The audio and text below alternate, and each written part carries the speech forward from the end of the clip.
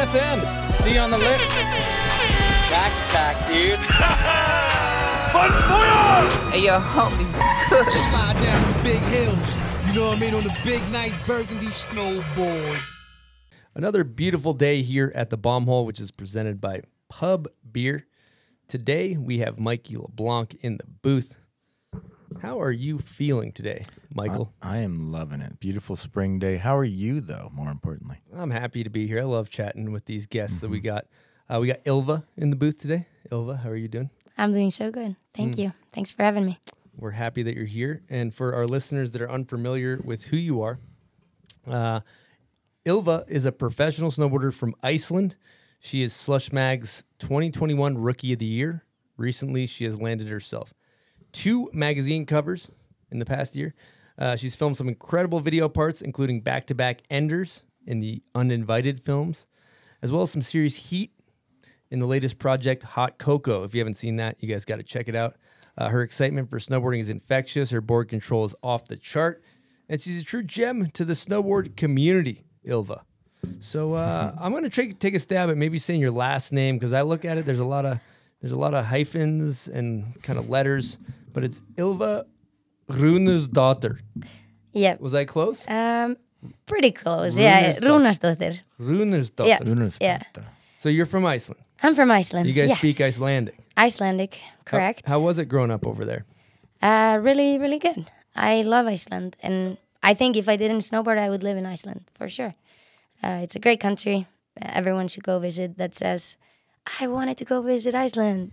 Like I've been wanting it forever, but yeah, Se- you should sell go. us, sell us on Iceland. Sell us. Yeah, so I think first and foremost, it's like great people. People are like used to having crazy weather, having to adjust, just like all in all, very present, I think, because you cannot just live after a schedule. Like everyone's gonna be late or way ahead of time because they're just running it how it goes, kind of thing. And um, yeah, and I think just like the nature just complements that. Like it's wild and crazy and still beautiful because it has so much character. It's a bit different um, than many other like islands because it's it's a really big island but very little population. So yeah, So that since it's so coastal, you guys get wild weather because there's so Yeah. Much. It just fluctuates rapidly. a lot of wind and storms and yeah. You guys could have a motto. It could be like Iceland, never on schedule, always on time. Something like that. That would be great. Yeah.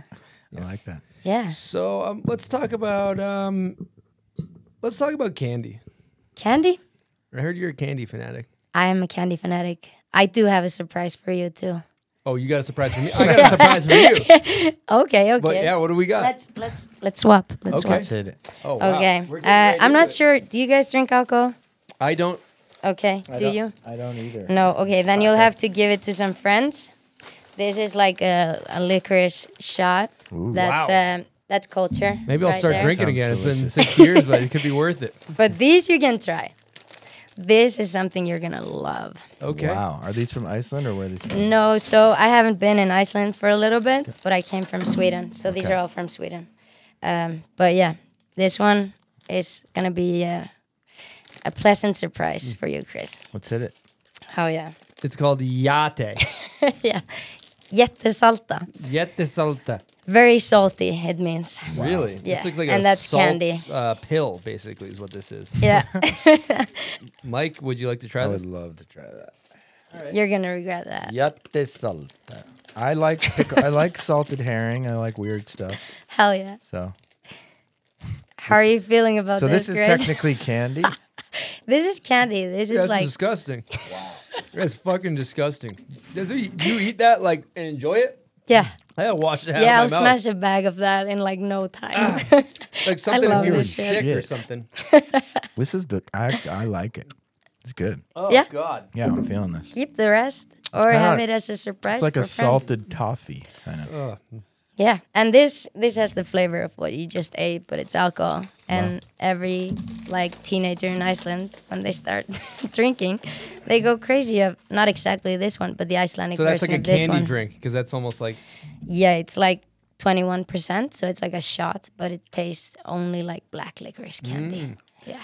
Well, first of all, uh, black licorice is fucking disgusting, and I believe that anybody that likes it should uh, be put in a mental hospital. So that's my take. Oh wow. So we have some real uh, American candy. I actually don't know if it's American or not, but it's American to me. Haribo gummy bears.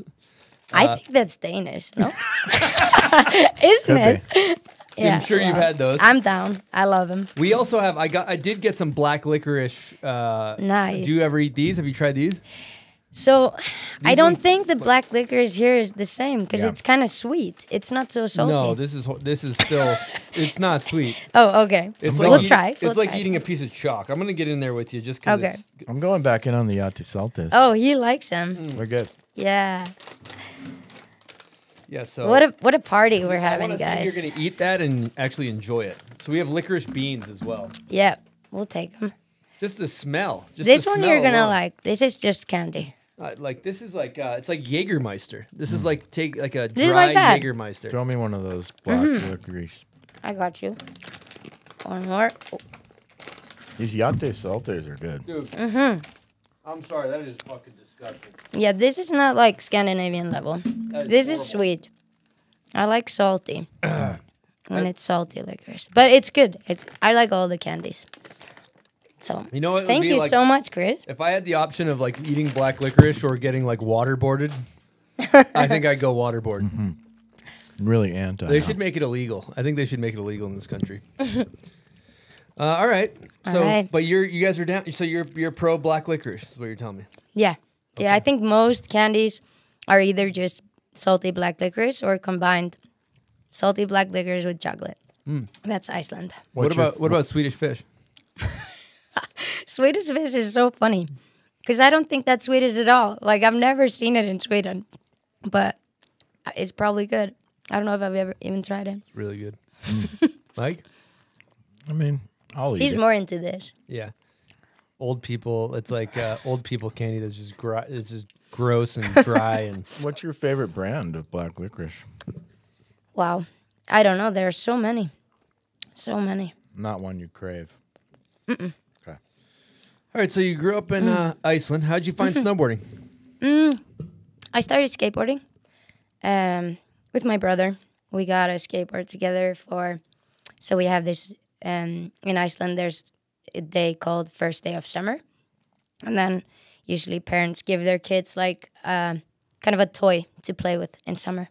And we got a skateboard together. It was a Crazy Creek skateboard, which is like an intersport brand, kind of like um no brand in skateboarding really, but but we skated it so much we broke the tail and the nose before we got like a deck each. so Who's- that was pretty we? sick. Me and my brother, we Okay, got it. yeah, Yep. yeah, and um, yeah. So I just loved it. I thought it was really really fun from the start, and then I wanted to snowboard because of that. And um, yeah, my family never skied and never went to any ski resorts or anything. So it was kind of a little bit out of the blue. I mean, not fully because of skateboarding, but yeah, I wanted a snowboard and I asked for a snowboard for a while and then I got a snowboard for Christmas when I was 14. And um, yeah, my mom bought it off Bland.is, which is similar to Craigslist, I guess. Uh, found like a like a complete package with bindings, boots, and a board. And the boots were like three sizes too big, and she was like, she's gonna grow in them. And and I still wear the same size shoe than when she bought them. so I've never fitted my first snowboard boots, which is pretty funny. And yeah, that's how it started. And um, like a year later, I went up ending to go to like my first ski resort. And yeah, I just started like behind my house kind of thing. Yeah. For, forgive my Mm-hmm. ignorance for not knowing or studying, but does does Iceland have like ski resorts and stuff? Um, yeah, there is a couple, but um, not that reliable, I'd say. So, like, I'm from Reykjavik, which is the which is the city, and it's in south. And um, I think that first winter I like started snowboarding. My resort was open like three days throughout the season, just like one day open here and one day open there. So there's like like not a not a season that you can count on, but there's like gonna be a week where the resort is open. But when you go up further north or like west or different sides of the country, you have ski resorts that are more reliable because they, I guess, they get more snow and and they can some places they can make snow which they couldn't in like my home resort because it was like a water protected area, so it was too expensive to make snow. Um, but yeah, it was like 40 minutes from my house. Was the closest ski resort to me. And then eventually you went over to Sweden to Mm-hmm. snowboard. Yeah. Yeah, so I think like the first year I started or second year, I think I was 15 when um when I got it's really crazy. I got sponsored because of skateboarding. Uh because I was uh I was skateboarding in the Nikita backyard and I don't know if everyone out there is familiar with the fact that Nikita is an Icelandic company from the start. Like there's amazing Icelandic woman Heiða started the company and um and yeah, they had a they had a store downtown Reykjavik, and and they ha- they would have an event called um, Nikita Jibben Skate. So there's a mini in the backyard, and then they would get like corrugated pipes and like a box or something in the backyard. And and the first year I went there, I was only skateboarding, and I was looking at the snowboarders, and I was like, oh my god, I want to do this. That looks so cool. And um, yeah, I ended up doing that the year after. Like I, I went and skate and snowboarded both and yeah, I, I was just always hanging out there. So I got like a pair of uh, Nikita snow pants. So I got kind of like sponsored through Nikita at that time, like with gear, and um, and then through that, uh, Halldór and Eiki heard about me because they were hosting their first ever lobster snow camp.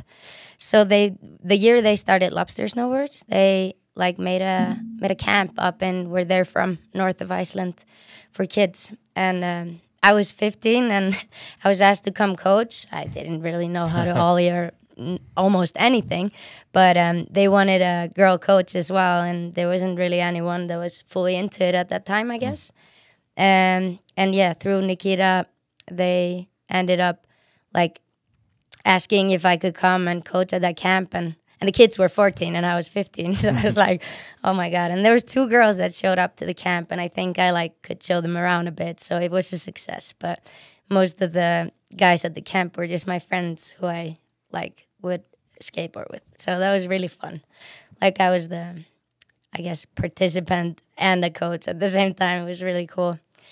And um yeah, they just kind of like they both and more Icelandic guys at that time. I went to school in Sweden, like a snowboarding school kind of thing, and they were like, "If you want to keep snowboarding, you should go to Sweden. It's like really sick. They have snow parks and like." We didn't have a snow park or anything. Like it was just like shaping a side hit at your hill, and um, they were like kind of hyping that up. Like you should go. It's really sick. And and I was like, wow, that's so cool.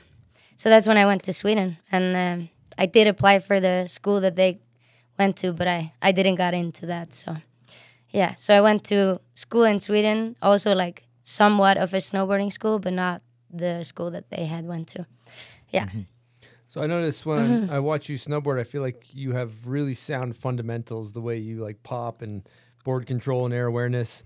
Do you attribute that to like snowboarding a lot at a younger age at the schools, or how did you how did you get that board control? You feel like Wow, thank you. Um, I don't know. I I guess I like.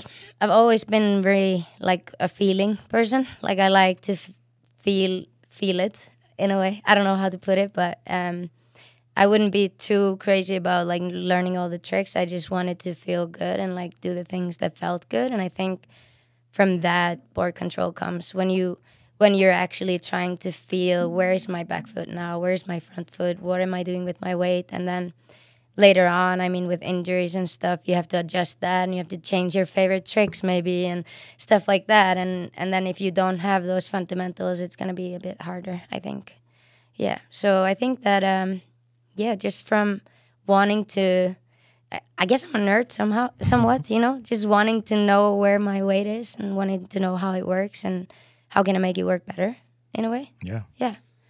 I think, I don't know. But also just probably snowboarding a lot. And Yeah. skateboarding too. I think probably skating at it a lot. Yeah. Yeah. I guess so. Are you? So I was scrolling through your gram. Mm. Are you your regular foot snowboarding? Yeah. And you're goofy skateboarder. Yeah. I That's- am. That's interesting. Was that? I was.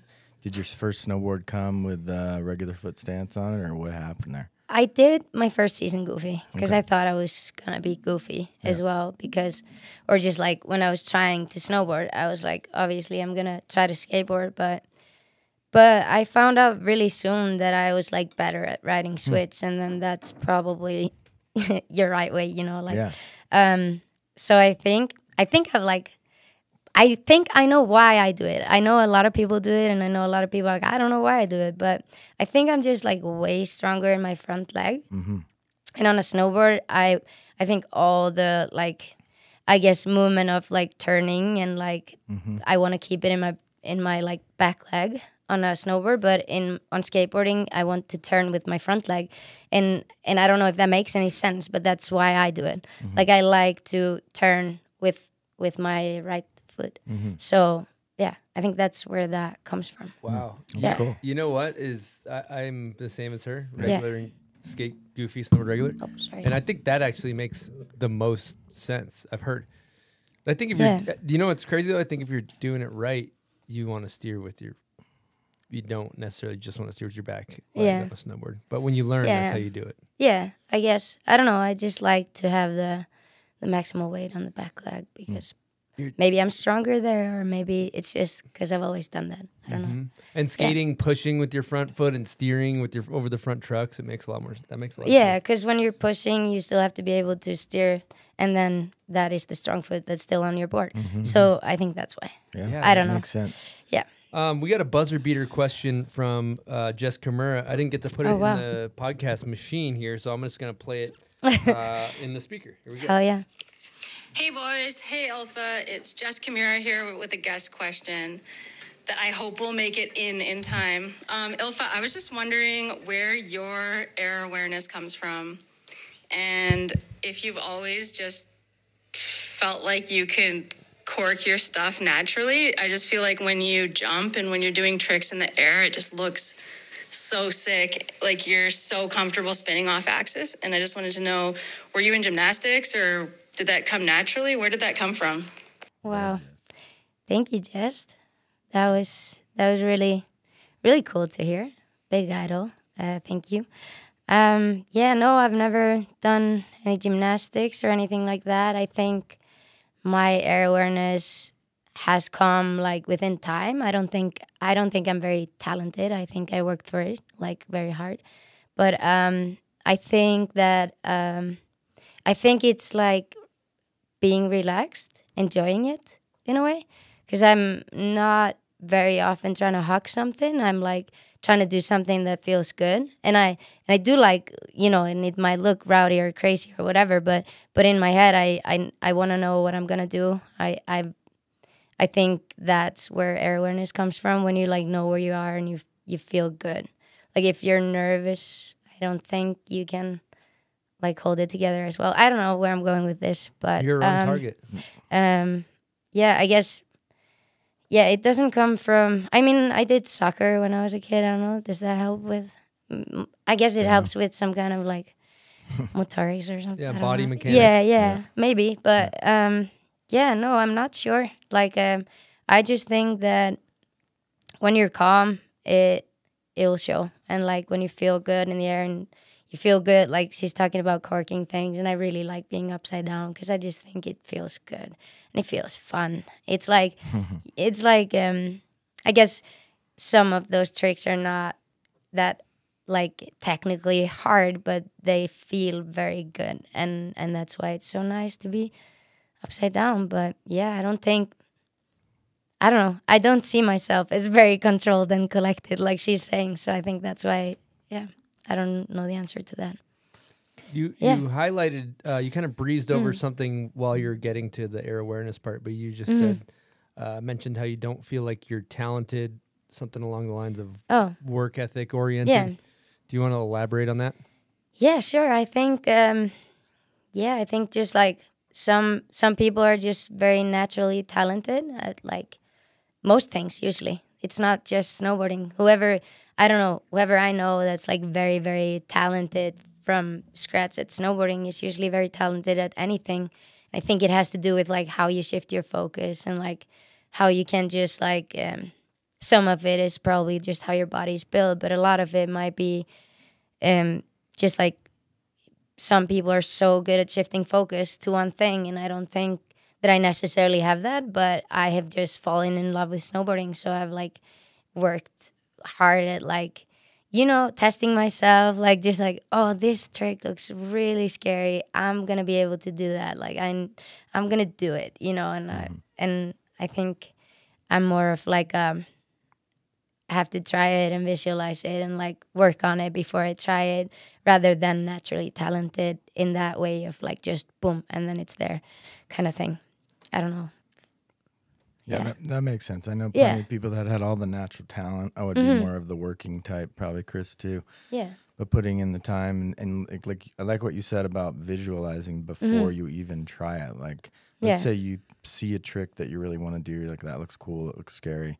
Yeah. What's the process? Is this are we talking like a year or a month or a week or that day? Like what's your I think it's like very very different and I think that I'm I'm quite spontaneous as a person overall. So I think I I wouldn't say visualizing is my strong side because I don't like know necessarily that I want to do it in before.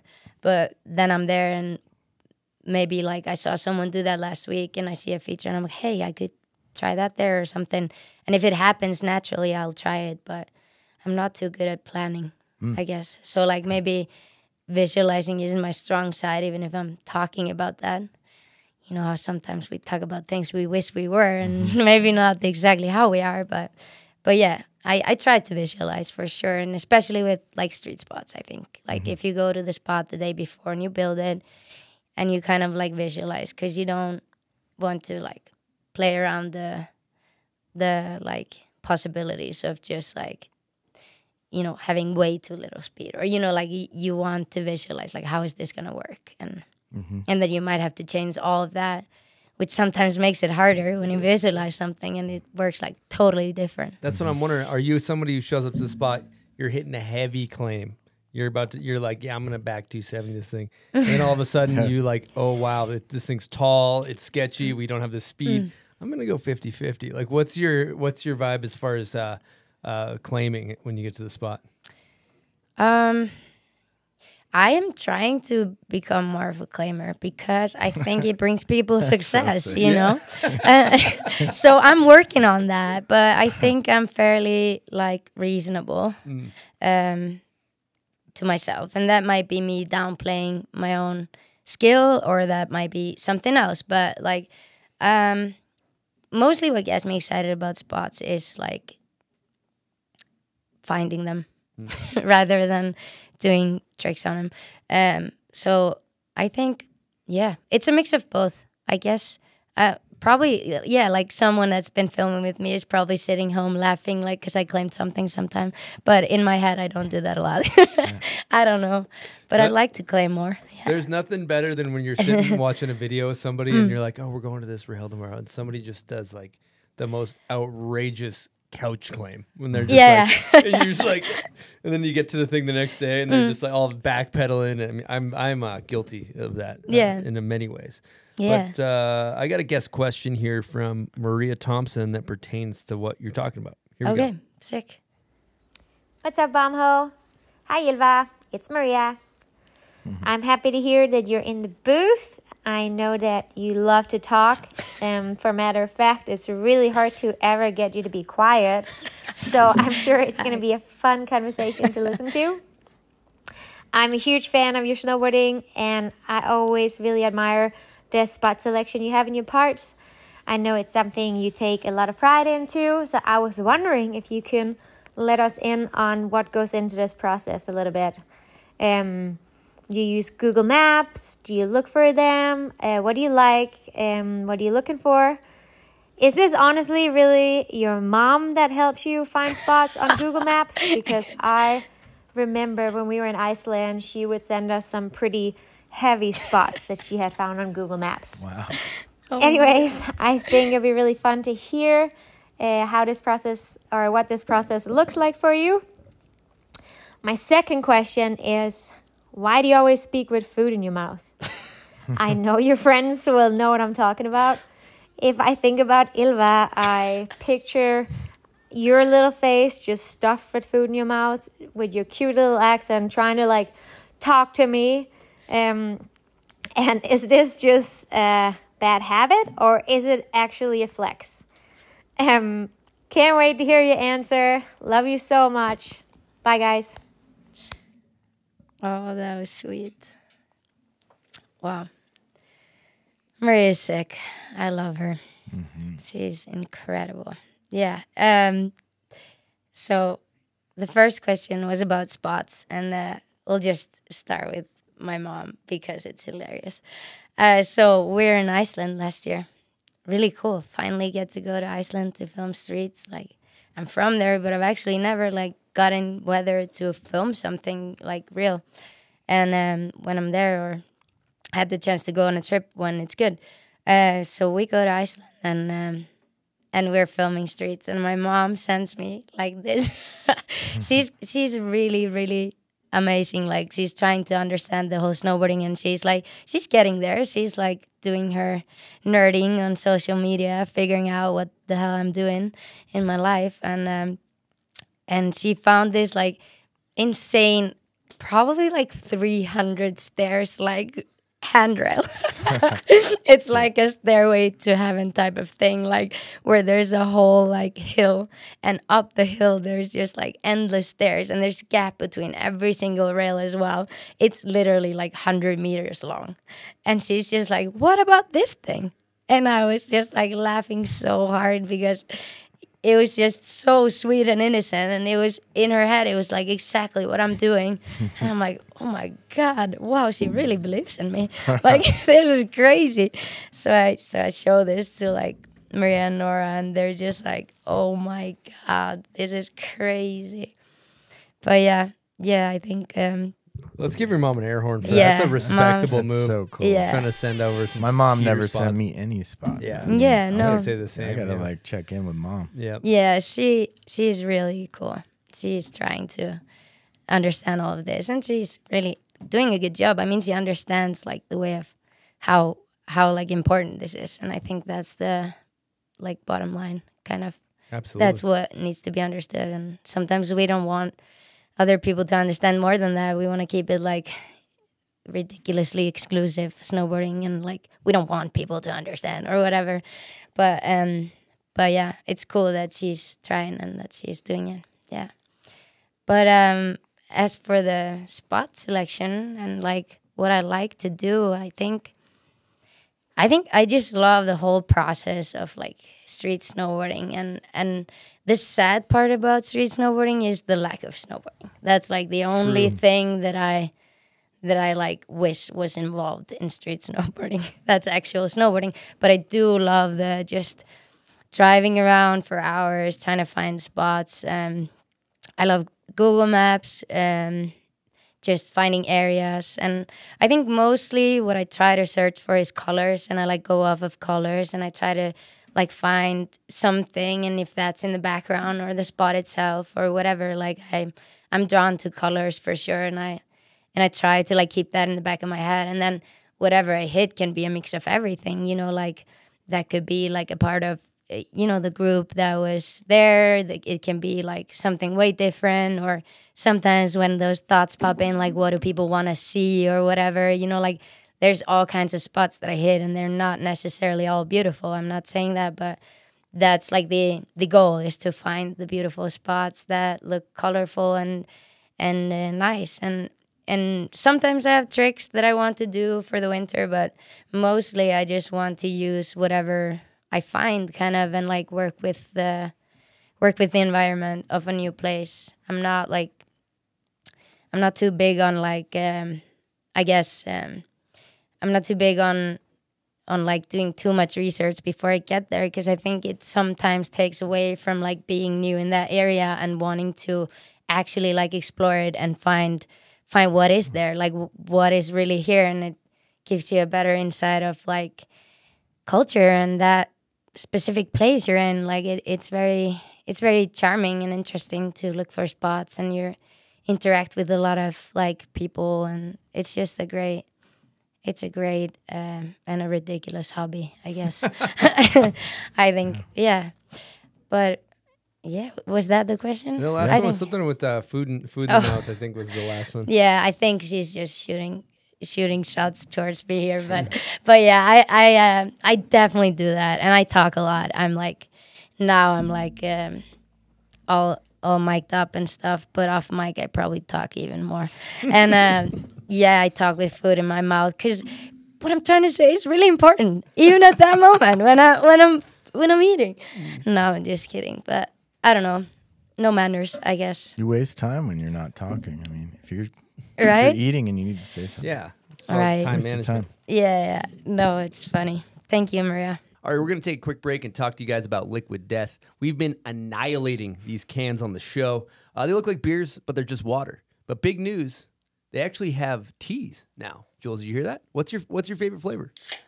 You know, I've tried all three of them and I like them all a lot, but I think Rest in Peach is my favorite. It's just really refreshing and it tastes pretty healthy. Mm, healthy taste. Love that. I'm an armless Palmer guy myself. I like the Arnie P. I like golfing. It's a great tea. So uh, definitely check out Liquid Death's new teas coming out right now.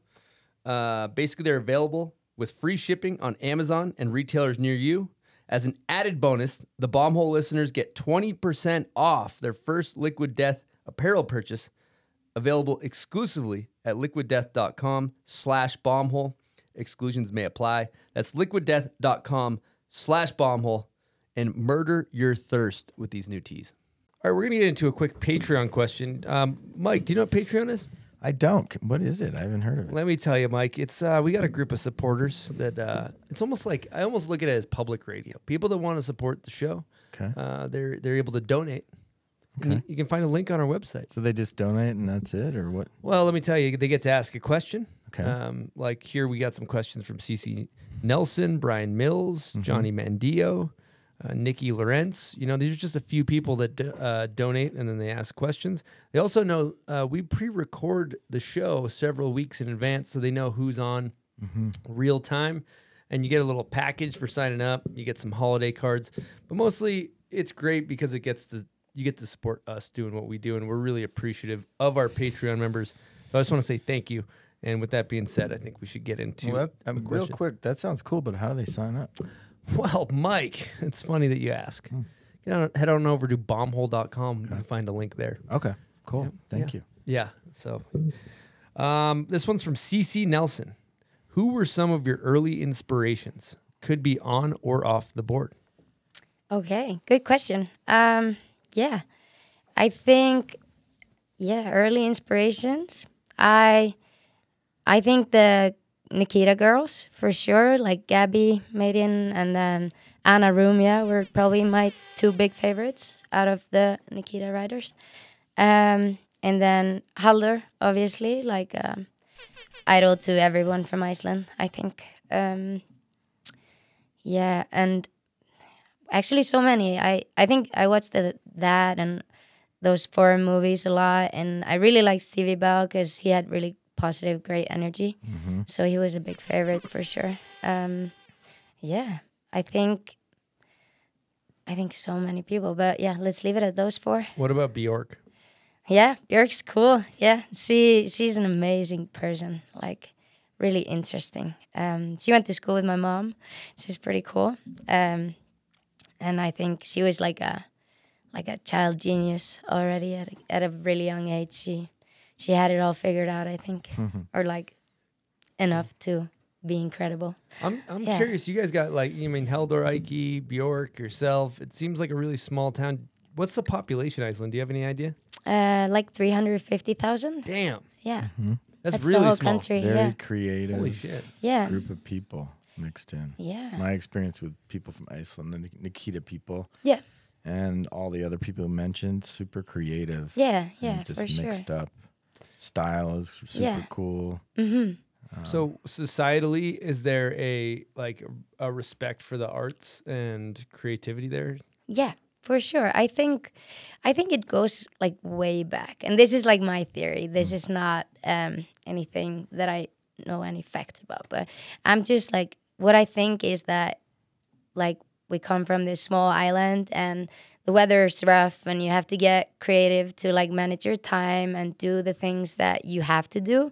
And then on the side like you have a lot of let's say downtime to do things that like that keep you sane right? Uh, that's that's what i think it was like way back. So we made up all these stories. There's like so many stories about like elves and and like all like just cr- trolls and creatures and the ocean and whatnot. Like and i think that was just to keep people sane because a lot of the time you just had to stay inside i think.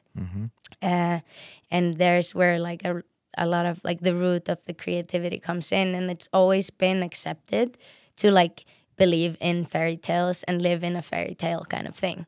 And i think that's why a lot of people feel the freedom to just like you that's very accepted i think. Um, and it and it comes down to like um or not comes down to, but I think a lot of people just thrive in that, and then that generates more energy towards that, and then so it's just like next generation takes it the step further, and and next generation, and, and so on. So like, there's a lot of creativity like all around everyone. I think a lot of people have art in their family, like mm. pretty close by, like one generation back or two, or something. Mm-hmm. Someone was a poet, and someone was a playing music and yeah like all of that. So i think i think it's just very accepted in the culture. Art is like an important thing to to a good life. And um, i'm not sure if that's the case everywhere but i think that's definitely the case in iceland. Like you you know that's a root of happiness somehow. And it's yeah i think so. Wow. Yeah, love that. So we did we answer both of Cece's questions?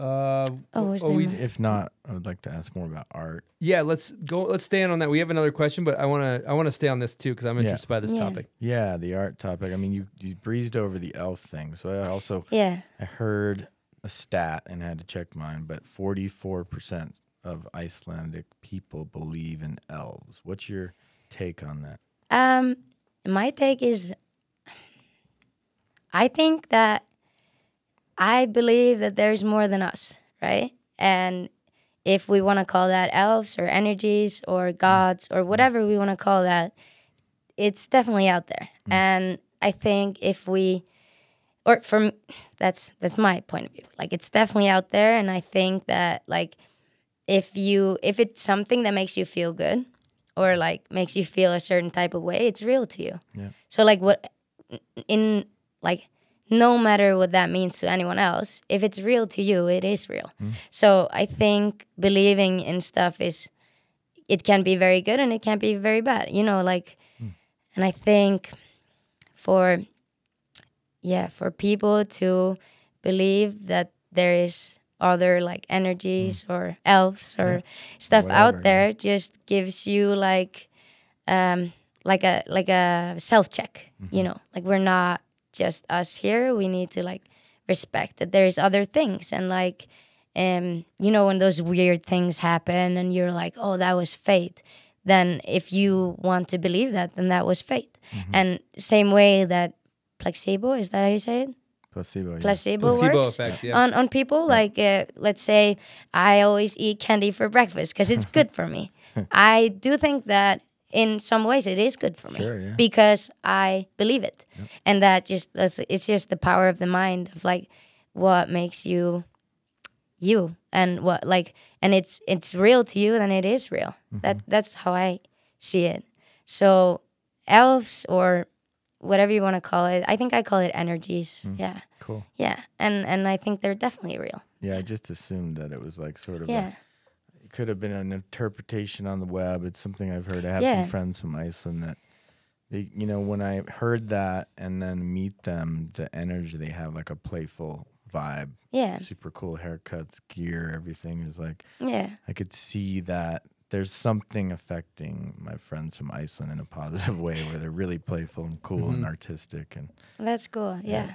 Yeah. And that's cool to hear. I think that um I think it's a very like fun topic Yeah. to to stay on because it's just like it's just an ad- adventure and we don't know that much about it. Um so I think that even if I say energies and talk about it like this in the broad like yeah. broader picture, I think a lot of people do believe in like elves and that they steal stuff from your house or you know like Yeah. and and more so like back in the days for sure So they're kind of tricksters. Elves are tricksters. uh, yeah, it, it depends how you treat them. So, like, if you treat them well, they will treat you well. but if you're a piece of shit, then they'll steal your silver or something. yeah. Yeah. Yeah. So, kind of like that. That's I, cool. I gotta commend you. I- Yeah. you just did such a beautiful job articulating the energies and and uh, could be like almost. It's like a. It's like hard to put into words how you just and you just did such a great job. Thank you. Um, explaining that I was captivated. So, and I, I also almost want to rewind a little bit too, talking about Yeah. like you know even even broader like you know what I hear when you talk about Iceland, it's like kind of like uh, it almost seems like anything is possible, like a chase your dreams, uh, foster your creativity, um, kind of an open open minded kind of uh, mentality. And then I think about all over the states and you know us geographically in North America, you know, there's there's definitely like certain areas geographically that are like well you can't be an artist. You got to be real here. You got to you got to do you got to pay your bills. You got to do something that's safe. You got to do Yeah. you know and be like it's like there's like kind of um uh optimistic and there's like cynical. Um and a lot of places are kind of cynical which i think is is man you know because people are scared you got to pay your bills totally natural everybody's circumstances are different but it sounds like just a society that that is not as fear-based in in some ways i don't know if i'm on target with that at all. Yeah, but I, I do think this is also my experience. So like this is where I'm coming from, and Got I it. and I bet that there's thousands of places in the world that have and people that have the same experience from their homes that I do from Mm. mine, because I guess I felt free uh, being me in my home, and not everyone has that, and probably definitely not everyone in Iceland has that either. So I think it's like this fairy tale world version is like all coming from my head as well. So I guess we should not maybe like Generalize. uh, generalize Yeah. because I'm sense. sure that there is all of everything. Yeah. So we have we have like I don't know, just so many so many like thoughts in our heads about like how things are and and we're sometimes like way off but in our heads like i was talking about the house it's so real so like in my head it's so real that that's iceland but to someone else they might have a totally different experience from growing up there or something yeah Well, well, I heard Yeah. uh, you travel everywhere with a notebook, and I'm Yeah. curious as to what do you what's going on in that notebook. Wow. Um, yeah, I think just I think when I like express myself with art, um, I tend to like just draw and and write and do whatever I feel like. And that's not necessarily pretty, that's not necessarily ugly either. It can be like beautiful, it can be awful, it can be anything. Just like whatever I feel like, I like to put it on paper. And I don't do this always, but when when I get the time and when I feel like I have to, those like kind of creative outlets of just like getting a thought out of your head onto paper feels really good. And um, and I might never look at it again. Usually that's that's the case of my notebook. I will put maybe even 10 hours into it. Like drawing to me and painting is the same as snowboarding. I can get into this like insane like a bubble of just nothing else exists. I don't get hungry. I don't need to go to bathroom. I don't need to do there, there's like nothing else. There's just drawing and whatever I'm drawing or writing. And um and I think when it's on the paper it's already out so I don't need to look at it again. You know. So like it, it's kind of just like um I don't think the book itself is is uh, the treasure. The treasure is like whatever you're doing to like stay stay sane, stay focused, stay on doing things that make you feel good. I love I that. think, yeah. I think you know, Chris and I talk sometimes. Yeah. How people will, when you don't express something, it gets stored in your body. Mm-hmm. But you're, it almost sounds like you're like just taking whatever you're feeling and putting it Yeah. into another place, and you can kind of let it go. Yeah, I think, or I, I, I'd like to think so. I try. I mean, this is one method, but Yeah. yeah, yeah, Love that. yeah. So I also heard you, you. I heard about the notebook, but also you usually travel on trips with art supplies too. Yeah, some pens, some maybe face paint. I love face paint. It's just fun and it like makes people smile. Mm. Glitter, a little bit of glitter at the party, put it on someone's face. Mm-hmm. Like Changes them. it just like I don't know. It just gives them an an like a expression of like being like whatever they want to be or doing whatever they want to do. And then and it, that might be forced from my part sometimes so they might not want to do that but they'll get glitter anyway.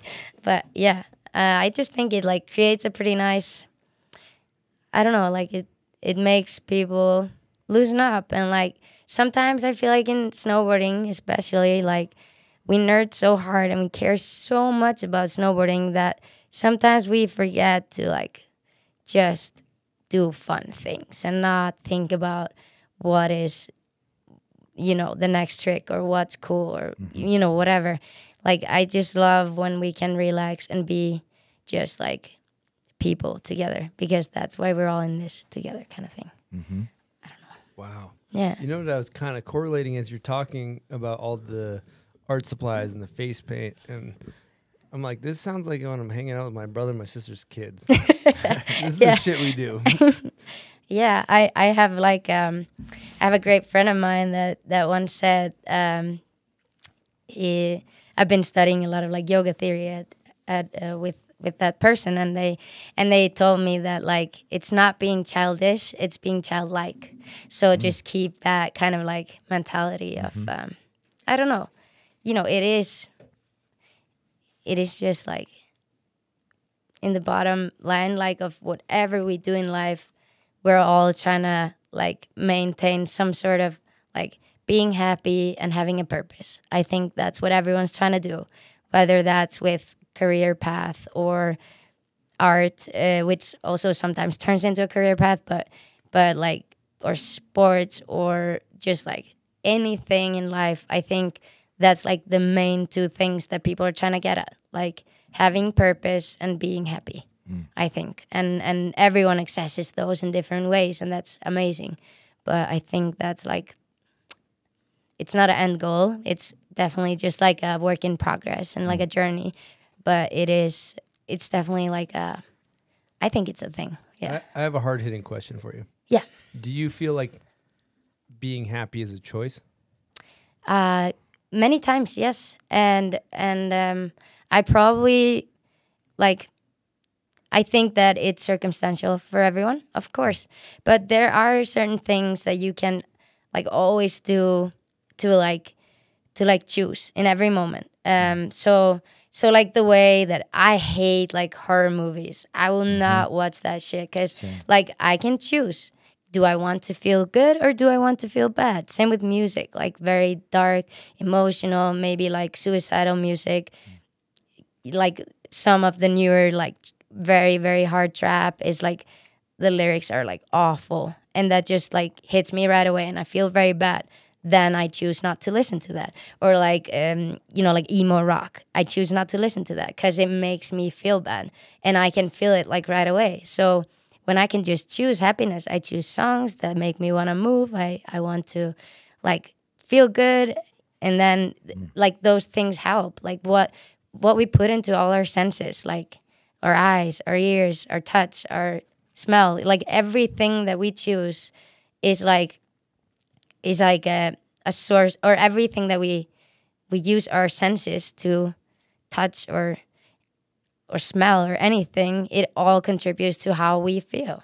So there's a lot of ways to choose your environment choose the people you hang out with choose your circumstances.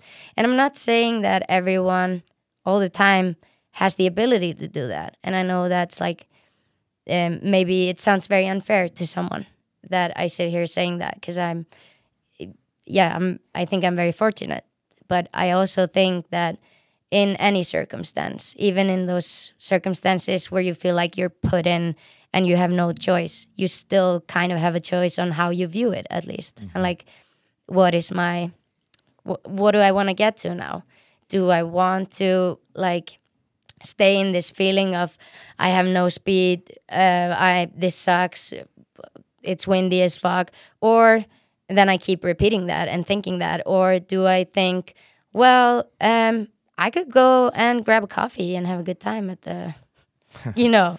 Yeah. So like you can kind of choose in those circumstances. Like you don't have to usually. I mean, different with maybe whoever's on doing contests and stuff, but you don't always have to be doing what you think you have to be doing.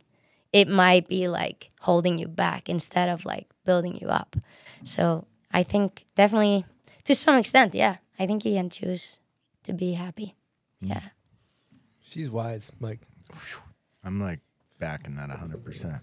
Yeah. Love it. I think life is about choice. It's straight up one choice after the next, and you were just Yeah. nailing that in such a profound way. Thank you. Yeah.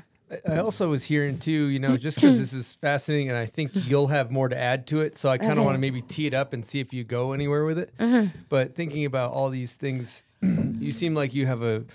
Uh, you're a deep thinker, is what I'm gathering, and it's really fun to listen to you talk about this stuff.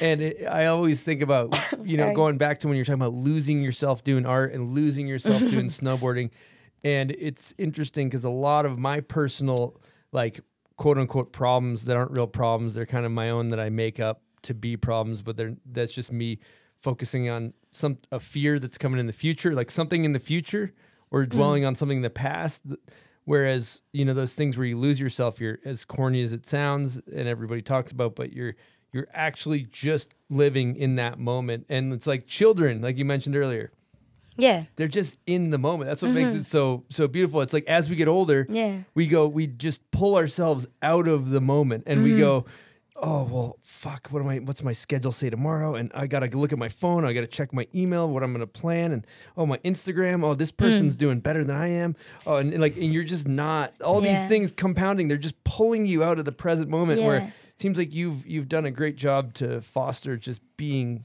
living it. Um, I, I mean, I'm working on it, obviously, but I think that, yeah, I think it's hard to like sit in because I I don't like to like it to come off that I know what I'm talking about because I don't think any of us do. You know, like it's just like um observations of like everything and I haven't mastered any of it, but I'm just like I'm like you say, I'm a thinker and I observe and I, I like to see solutions instead of problems and maybe I talk like I've already used all those solutions, but I'm not there, you know? So I think um yeah, that's um like I'm not putting myself on any kind of pedestal saying that I don't do that because I think we all do. Like all of those things get distracted and like what we should be doing or whatever.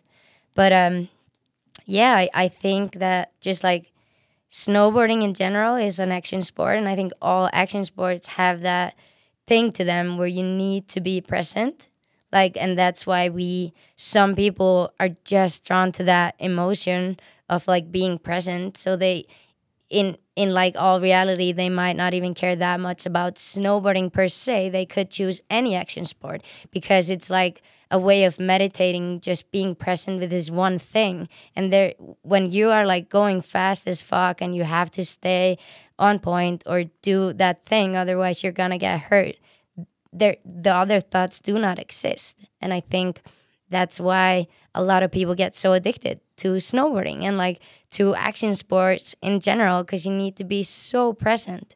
So i think just like from that we all have a certain kind of calmness to us. I think every snowboarder that i ever met can to some extent come to like a meditative mindset which is really really i'm not to say it's rare but it's quite rare in like the general world because a lot of people might not discover that until like very late on in life or maybe never you know? So i think in snowboarding a lot of people at a fairly young age and in all those like action sports type things you like you're not forced to learn that but you learn that as you go. You learn to shift your focus into one thing and that is meditation.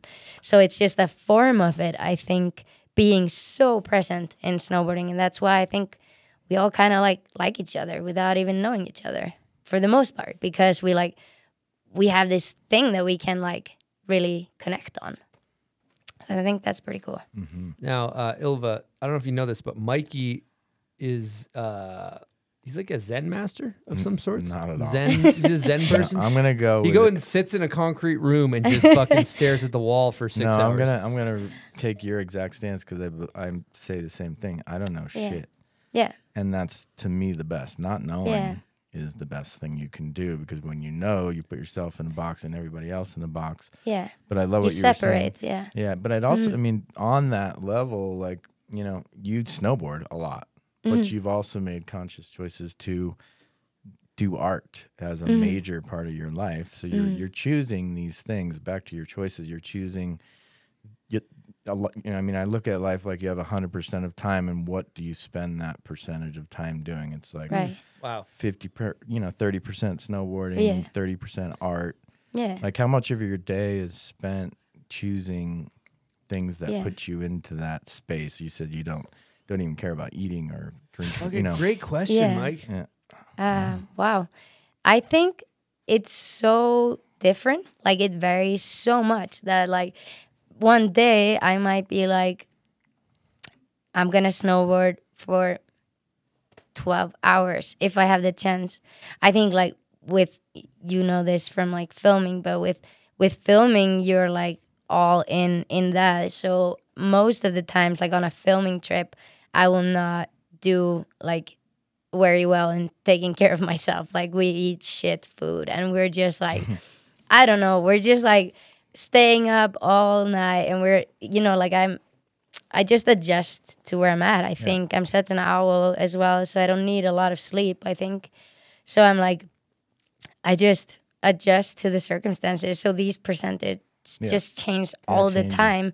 And like at some point I might even be at zero and I don't even have snowboarding. You know, like Mm-hmm. when you're just not in a good space or you're like doing other things in life or, or even just worrying. Mm-hmm. Like worries are like you know, when people just drift off of their track and just start worrying about things Mm-hmm. that that might come into play later on or they're real like they're real problems already and they have to be taken care of and then then those moments of like meditation are almost at zero you know but um but I think that's the beauty of it because sometimes they're at 150. So mm-hmm. you know, like I don't, th- I'm not a routine person. I mm-hmm. have a very hard time with routine. So I think that's how I balance it. Mm-hmm. Sometimes it's zero, and sometimes it's Yeah. way like. So it's a it's a hard question, but it's a good question to ask yourself. Mhm. So I'll take that with me and ask What, uh, that sometimes. how do you? What do you have any tricks when you catch yourself worrying? I mean, like you said, sometimes you just gotta handle stuff you don't want to Yeah. do.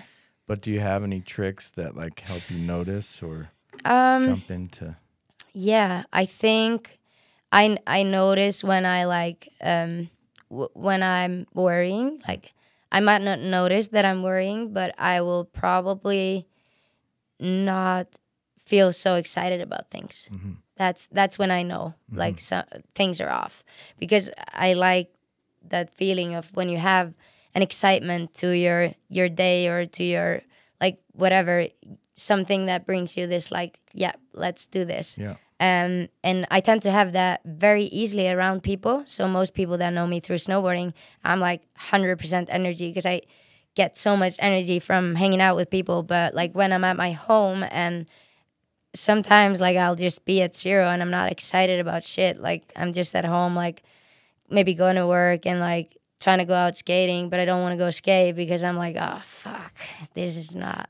You know, I just I'm drained. I think, and um, and that's when I notice like some things are off, and then I need to change something actively, and then I like might put up um, I don't know, I like spontaneous things. I might put up like a like um something happening in my hometown. I'll I don't know, I'll do a do a little thing with just friends or I'll go camping or I'll go skating and we'll like try to I don't know um, draw also and skate at the same time or like you just trying to make something because you can like create those kind of moments when you're like after even if you're in the moment like faking it till you make it like after you've put in that like time to make create something that makes you feel good even if you don't feel it while you're doing it it will like generate like the next step or you know it gets the ball rolling Yeah. kind Yeah, of thing. So like just force yourself or not force but get yourself to do things that you know that you want to do even if you don't want to do them right now. Because it brings you joy in the end and you know it. For sure. Yeah. Yeah. Chris and I both like walking. yeah Like I walk every morning, and if I don't walk, I have a shitty day. Straight Yeah. up, Yeah. just do. And he has a walk thing too, but it's Yeah. nice to hear about other people's things and like choosing, Yeah. noticing, and then choosing just something different Mm-hmm. seems to work. yeah i think so We got a guest question all from right an absolute legend Who? of the sport, Mike. I think you uh, you might have chatted with him. Do you know what we're talking about? I mean, he's top, one of my top, top, top people in the world. Okay, wow i'm excited here we go. Hello, Bomb Hole, Chris and Eastone, Ingemar Backman here. And uh, I've been listening to most of your episodes. Keep on a good job. And I'm really happy you have Ylfa on the show. She's a good friend of mine, great snowboarder, kind person. Hey, Ylfa, I have a question for you. First, uh, I want to say you're a very special person. I think you have a very open, creative, playful, and positive mind. And the question is actually where is this unique fairy tale mind coming from? Is it from the DNA, maybe your upbringing, Iceland, maybe other planet? I don't know. what do you think? Okay, note, note. Oh, Ingemar, what a great, great person. Yeah, we have so much fun snowboarding. He's still sending it. Like when we go boarding, there was an event like at my hometown recently, and there was like a big, big ass corner, and he gapped the whole thing, and he was just like sending it all day. What a great, great human and a person to snowboard with. Um, thank you for the kind words, Ingo. Really appreciate it. Um, yeah, I think we kind of touched a little bit based on that, but like where it comes from might just be like, like uh you, the way I just like talk a lot and like I like to express myself. I think, and like I think everyone has like kind of creativity and fairy tale inside of them and whether that's like a good fairy tale at that moment or if it's like a dramatic story going on like we all have so much it going on inside and some people do not like to express that at all and i i do enjoy expressing that especially to to people i feel comfortable with and i and yeah like um i i think that's a huge like um that's a kind of like a big big road to go down is like how to open up yourself and especially to like public. I think this is probably the the biggest platform i've talked like that this much on like kind of ever i think. And and it is like uncomfortable and sometimes you want to just like keep things to yourself like for the longest time i had this thing where i i didn't want no one in snowboarding outside of like people i knew personally to know who I was, like what kind of personality or whatever. Like I wanted my snowboarding to speak for itself, and and I didn't want to like. I don't know. I didn't want people to, I guess, in like publicly know who I was or something like that. And I, and I, I said this thing once. I was like, I'm never gonna mix politics and I'm never gonna mix money with snowboarding. and I guess I think I do both because yeah, I, I really care about snowboarding, and that's why it comes down to that. But um, but yeah, I think maybe that that I'm open, and that's why my to him at least my creativity shows, and maybe not to other people, but yeah, yeah, I think so.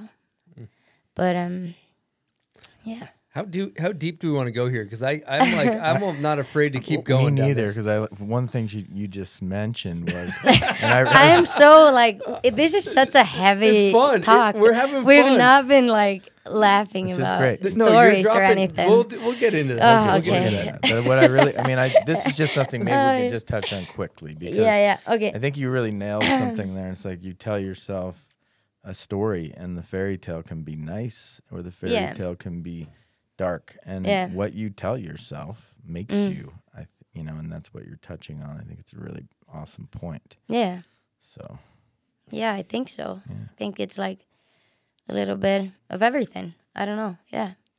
Okay, well, we can go. We'll go back into this stuff because I'm Yeah. just I'm fascinated with it. Uh, but we can kind of switch gears to a bit of a lighter. Yeah, note, um, let's do that. because and this I is- might still drift off into That's that. okay. That's Let's me. go. I love it. Uh, we got another Patreon question, Okay. uh, and this one's from Brian Mills, Mhm. and he asks, "What's the worst and best thing about the U.S.?" okay. Um. Wow. that is a hard question. Um. So many, so many, So worst many- things. So many worst things coming to mind. Yeah, actually, yeah, but but still also a lot of fun things. I mean, uh, best things, snacks, Dots pretzels, and um, probably yeah, Dots pretzels and Gatorade as spot snacks is a great great combo. Um, then I just think that the worst things. There's yeah. Don't be Feel shy. free. Don't hold back. Come Okay, On. um, No, d- Don't be um, shy. Come on. I don't know actually, but I do think like stereotyping and idolizing is rooted in America. Mm. Idolizing. Yeah, like idolizing people, like making them in inhuman.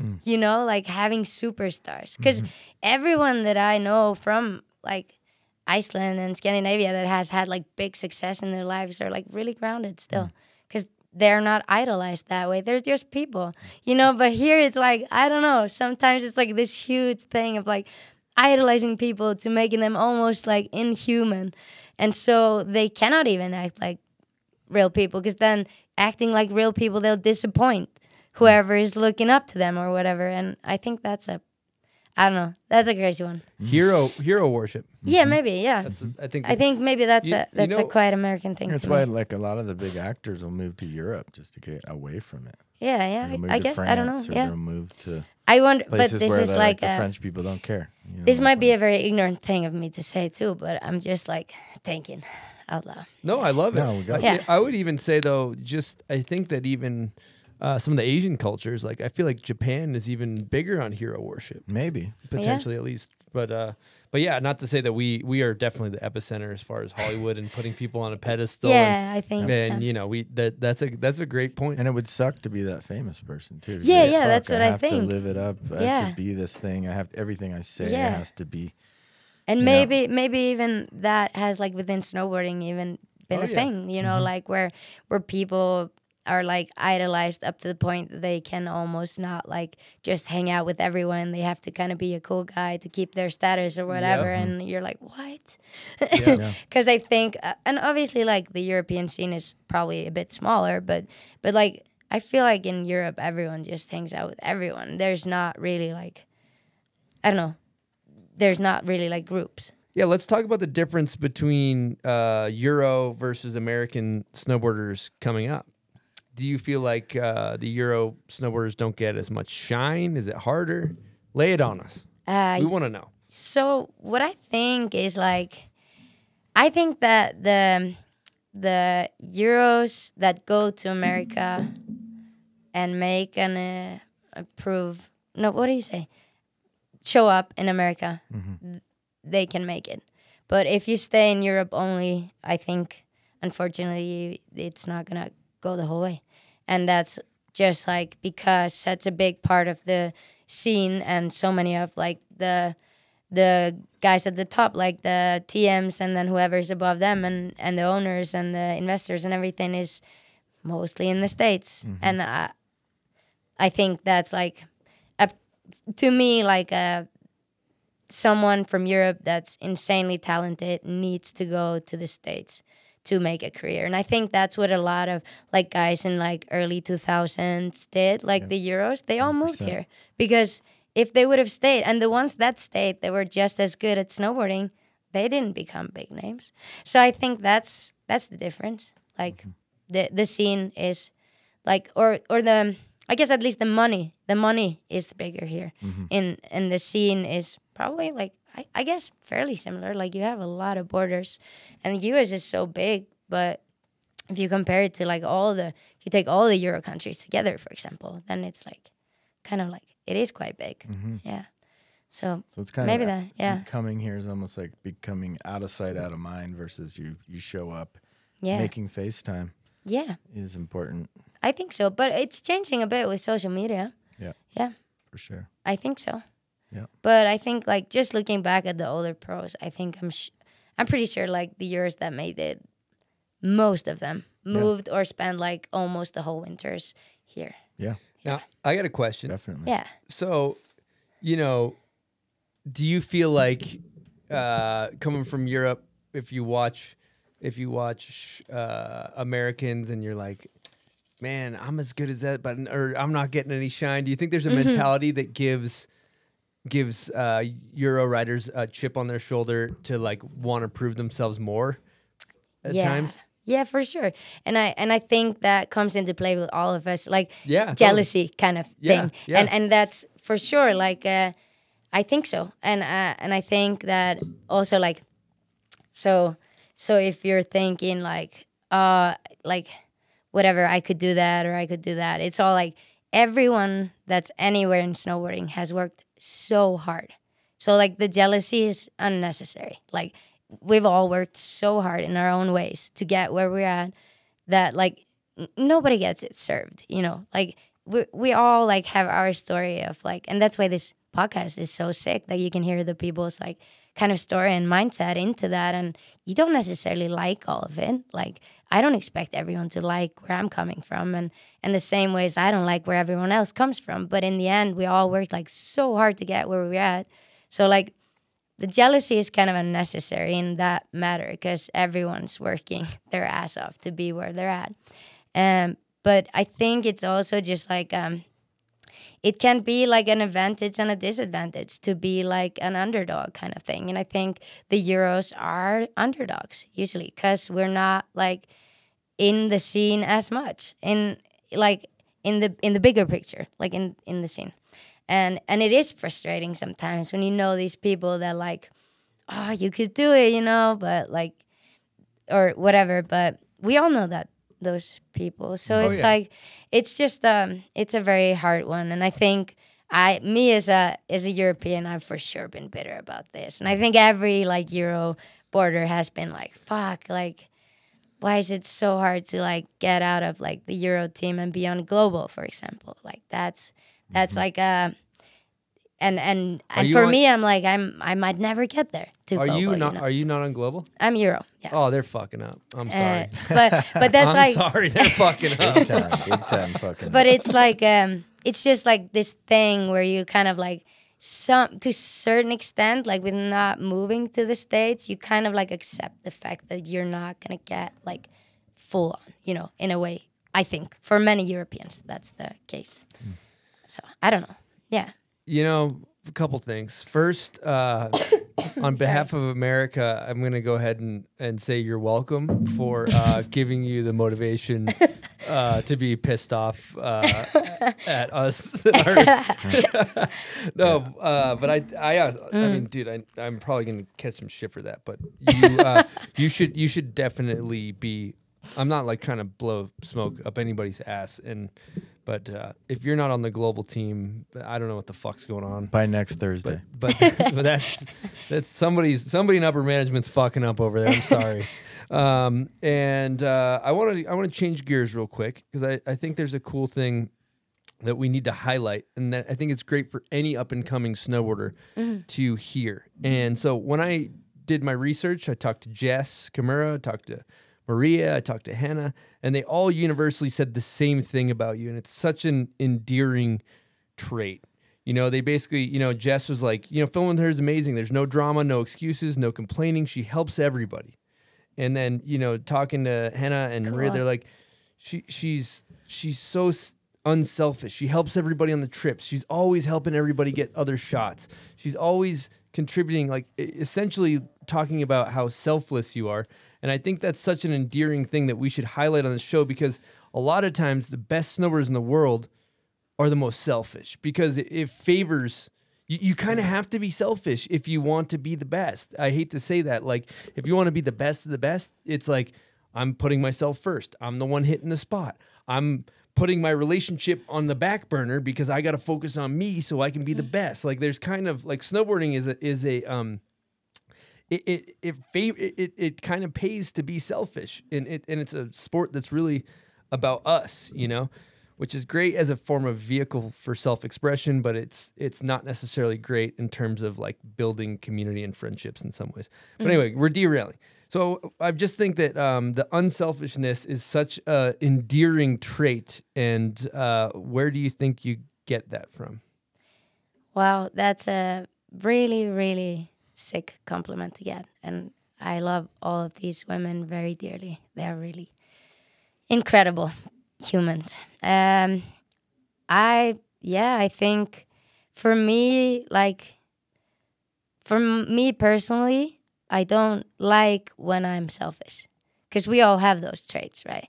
And I don't feel good when I feel selfish. So, like, that wouldn't in in my case that would not help me grow that would hold me back. So i i know that for a fact and and and it's not out of selfishness. I help other people you know like knowing that but but i do think it just comes from like you know the the different types of snowboarding we were drawn to. I think like i've never been drawn to contest or someone being the best or like mm.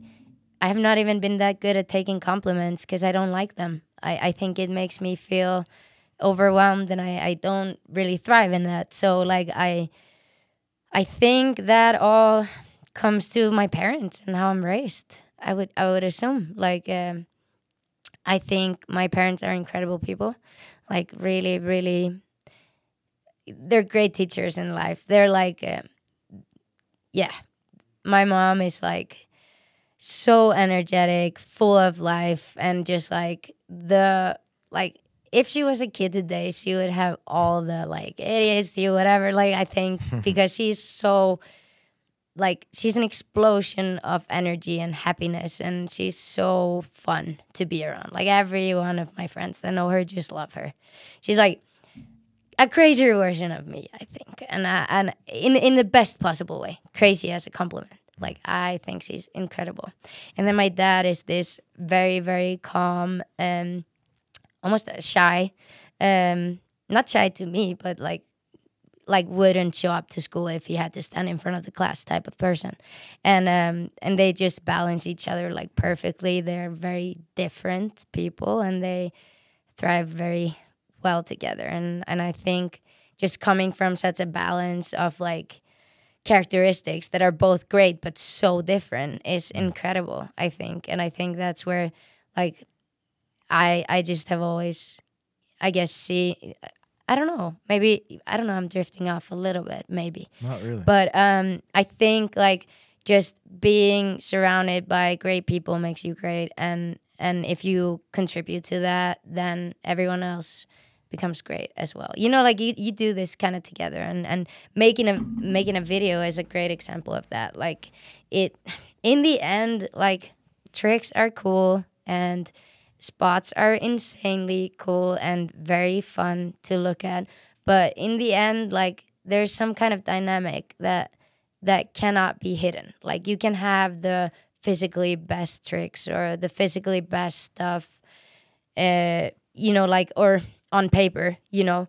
But if there's not like that energy to it that you want to like show whoever is watching the video like um when it doesn't shine through what what you're trying to tell in the end it's like a you're presenting something to someone. And if your your marketing is all over the place and they don't even know what you're selling that's like just I, i'm just trying to put this into words somehow. But then then that's maybe not like the best outcome even if you did the best tricks right? Mm-hmm. So like when you all work together and you thrive off each other's success and of, of each other's energy you get greater outcome. If that means that someone else gets the ender it doesn't matter.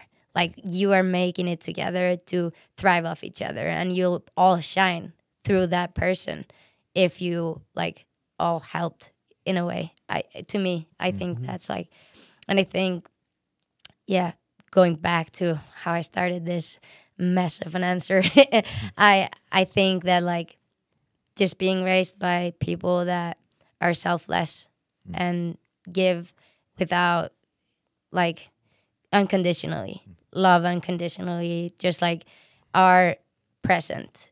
I think that's where it comes from because mm. i I want to be like them. Like I want to give unconditionally. I want to love unconditionally, and and I and I hope I do too, most. And um, yeah, and but then you're right. Like it is a selfish sport, and that's probably the hardest part of the whole like showing up to being a part of the industry for me. Uh, that that was the biggest biggest thing that I faced, and Jess helped me a lot with that. Just like kind of, I think Jess be- believed um, believed my worth before I did within like this and and like that kind of stuff. So I think that's really that was very selfless of her. Well, that's like so- giving unconditionally. It's so amazing you know. how many people bring Jess Kimura up about Yeah. this thing of her believing Yeah. in so many people. It's just mind blowing. and I think that's a that's a really perfect example of the topic we're just on. Yeah. Someone that like by bringing other people into the spotlight just like becomes a better version of themselves i think and and and that i'm super thankful for and and i know without like jess i wouldn't have been in this or i mean you never know but still like Yeah. i think it was a really really big thing on the way for me I have a question Yeah. which does come up. I hear it a lot. Mhm. Um, because I, you know, I'll go out and help people out, and I've come across people that are very selfish at the spot or on a Mm. trip. I mean, it's, you know, you hopefully can choose who you're with, but sometimes you don't always get that opportunity. Have you ever been on a trip? You don't need to name anybody, and how do how do you handle that kind of energy? Yeah, for sure. I've been on trips where where like you're not you're not even in your right mindset because you're so distracted by by your own feelings. And and that then that comes back to the choice like what we talked about earlier like okay you find yourself in this circumstances or this situation where you don't thrive and you know you're not going to shine are you going to choose to um, be ignorant to the situation and, and, and keep going? Or is it something that's very like personal and dear to you? You might have to speak up and maybe choose to make a little bit of a bad atmosphere at that point because it might be important to you. All right, Mike. Uh, question: Do you think you know what it's time for right now? I have no idea. Let me tell you something. It's a little segment we like to call "Name That Video Part." Wow, big moment.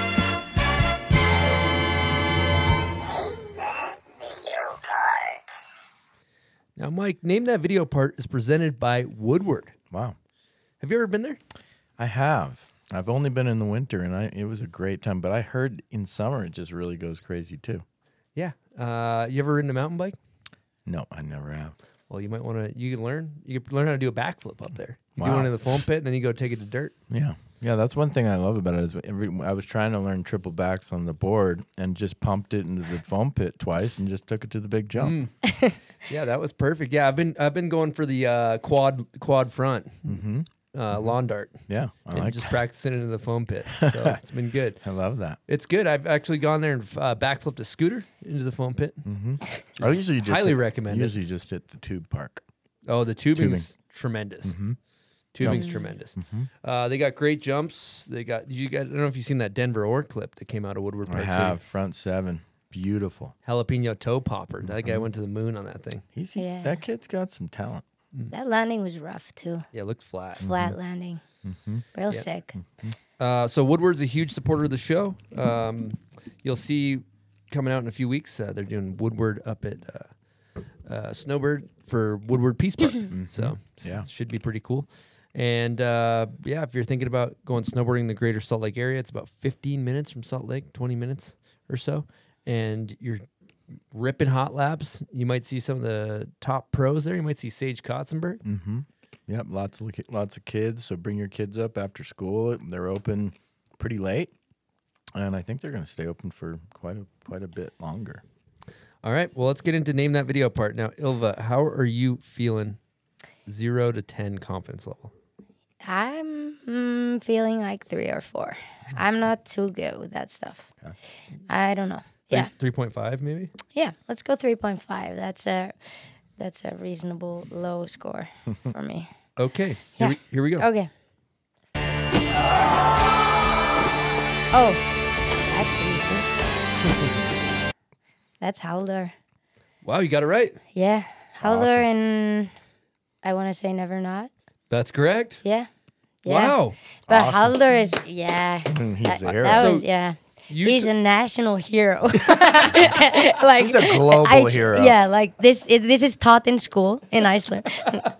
So what you got here is a it's a DB bag. We ran out Wow. of we ran out of the Yeti bags, uh, but you got a bunch a bomb hole prize pack in here. You got all kinds of uh, bomb hole beanies and hats and mugs and all kinds of Ooh, stuff. that's crazy. Yeah. So uh, you actually earned that. You got it right. I was almost positive you weren't going to get it right. I was positive that I was. I I'm, I said three point five, but I thought you were gonna be a bit meaner to me as well. Well, yeah, I thought I figured kind of the the marquee uh, Icelandic juggernaut they call Halldór might be a possible. No, get. that's sick. I, I like I like that. Mm-hmm. I have a great story of the first time I hang out with Halldór.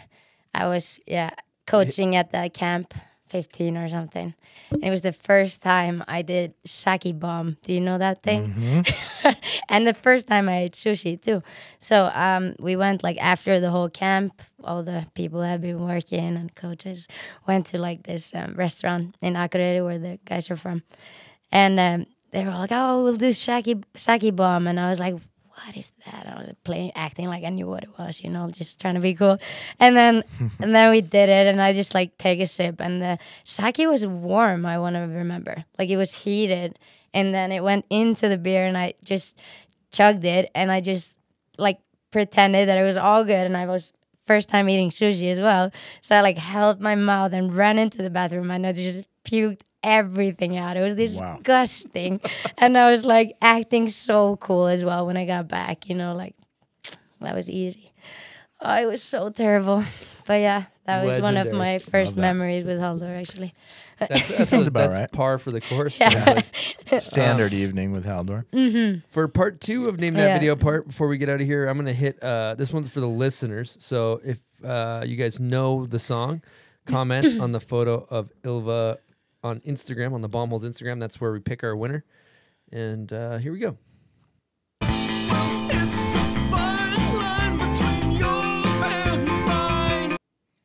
Great song, great video part. I know that one. Thank God it wasn't the one I was guessing. I don't know it. I'm sorry. You got your prize. You got your prize pack, so we're all good. Thank you guys for playing. Name that video part.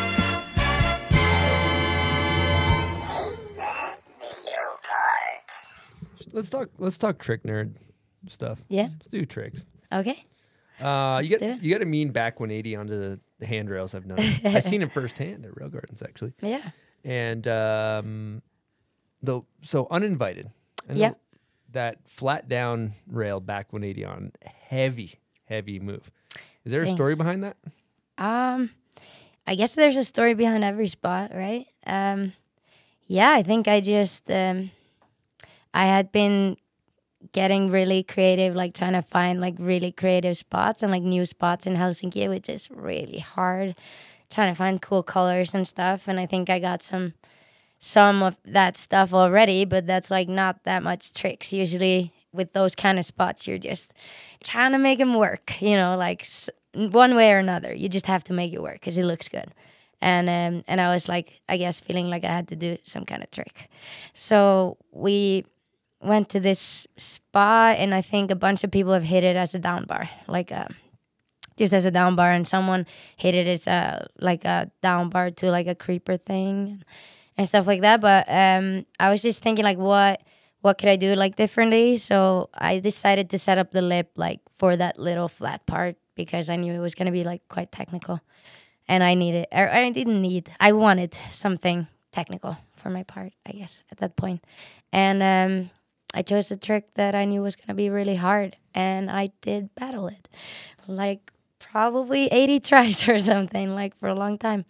Um, and I always ended up like going out of the kink at the very same spot, you know, just like getting thrown out of the kink like every single try. And the dropper was kind of funny because we had we had it pretty close. Uh, that was a rookie mistake, I guess, but it was really close to the to the spot. But there was like um the roof where the dropper was was really low, so if anyone else were to be hitting that spot, they would have had to been like bending down because I'm so short. I was able to stand up on there, and um, yeah, then I and on the other side of this school, um, another friend Saska, um, who was filming for Melter at that time, was hitting like a downflow down. And then him and um, Tuka, like the filmer, come over and they're done. And he got the clip, and I'm like, oh my god! And when I see them pull up, that's the one that I land, and it might have just been my mind going like, fuck, he got the clip already, and I'm still here battling. Like, so I just like uh, landed it on that try, and Henna was on the cam there, and she just like loses her shit, and it was really fun. That's dope. Yeah, because it was a battle for sure. I I was there like almost whole day probably. Yeah, I could probably be there my whole life and never get that. yeah. No, that was um, that was so sick. yeah a technical one for sure. I, I was curious about um, just thinking about Hmm. being ice, being from Iceland Mhm. and lived in Sweden. Yep. Now, do you think in Icelandic or what language do you think in? It's a good question. I think I swap a lot between those. I probably think mostly in Swedish. I've lived there for so long, and like, yeah, I just like, like I I live there, and my boyfriend's Swedish, so he's probably the person I talk mostly to, and and I think yeah, most mostly in Swedish, but probably I swap. Like if I stay in the states for a while, I'll probably start thinking in in English, or if I stay in Iceland, I'll think in Icelandic. Yeah, I think it's just, uh, I'm not sure actually. So this has been kind of a complete uh, train wreck as far as like a structural conversation because we're just letting it go where it Yeah. goes. But it's been a great conversation. um, you know, but to go back to your story here a little bit, thinking about the first time I ever saw your footage was in the uninvited, and you know, you. I'm I'm just curious, how did you get into the uninvited crew? Yeah, so um, that winter, um, where when they filmed the first Uninvited, I think the first was like separate parts. It was Ivica and a couple of other girls that had like separate parts, and then there was a movie, like the first movie.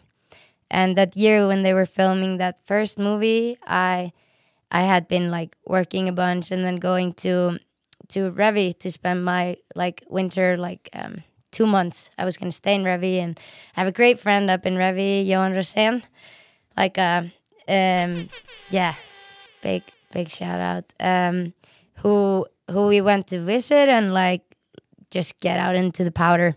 And uh, he he happens to be like a great friend of the Wasted Youth crew. Um and uh and yeah, Wasted Youth crew like filmed uh, or just filmed with them a bunch. And um, yeah so when that year and and I guess Johan Rosén, my friend from Revi, knew that she was making a video, and and he just hit her up on like on like um probably called her or something, just like hey I have a friend and like she's been like killing it or something and like she's pretty sick like you should you should ask her for clips or whatever. And and later on i've learned that jess um jess had just like when he asked that he was like are you dating this girl? And he's like no no it's a friend of mine. Like and uh, and she's like okay then i'll look at it you know because she didn't want you know all those like just people coming in because they have some sort of i don't know connection. She wanted it to be like purely from the passion. And sometimes if someone recommends someone i guess it might be like more the people recommending them wanting them to succeed than the actual person who is snowboarding. Uh, but yeah and um and he like i guess gave her my contact and then jess Kimura just like sent me an email i think was the first thing and i was like holy fuck. I like kind of lost it a little bit. And i had been like i think ever since i started snowboarding i have filmed because we were skateboarding first me and my brother and he had like a little handy cam and we would like film each other and then i got a snowboard and he didn't so he would be like the one like holding my hand running and then like i'd be olling four stairs and he'd be filming that or something you know like we were just like skating on the snowboard at first. And so i i had filmed a bunch of clips like that winter just because i always filmed street because i loved it. And um yeah i sent jess my clips and and she was like I remember her exact reply because it was so big to me. I think she was like, "Holy shit, your clips are fire." I remember that, and I was like, "Oh my god, that's so crazy." And yeah, ended up she ended up using those clips in the first video. Like, um, I think I got like five or six clips in the first uninvited. Um, yeah, and that winter I didn't know I was filming for that. I was just filming because I liked snowboarding and filming. Yeah, so I think that's kind of like the story That's behind incredible. that. And then so that must have sparked something Mhm. because then you went uninvited two, uninvited three, back to back. Ender's Ballroom. Yeah, Let's- that's crazy. Let's talk about that. Um, yeah, so Jess just I guess saw my potential and and all the girls in the first video were super cool. They like most of them like hit me up after the video or like they've seen the video and the video came out and were like really hyped on my snowboarding and stuff, which was really cool because to me they were like I didn't know that like I thought they were all pro. Like I thought everyone that filmed for the first uninvited were pro snowboarders. I had like no idea that they were all just like up and comers as well. But but like Maria and a lot of the other girls uh, hit me up after that first video, being like, "Hey, we should film or whatever," and that that was really cool. And um, yeah, so after that, um, yeah, Jess asked me if I wanted to film for for the videos, and I wanted to because it was sick. And uh, yeah, I didn't know that I had Ender in the like in the videos. Like I I had no idea. I was just helping with the like.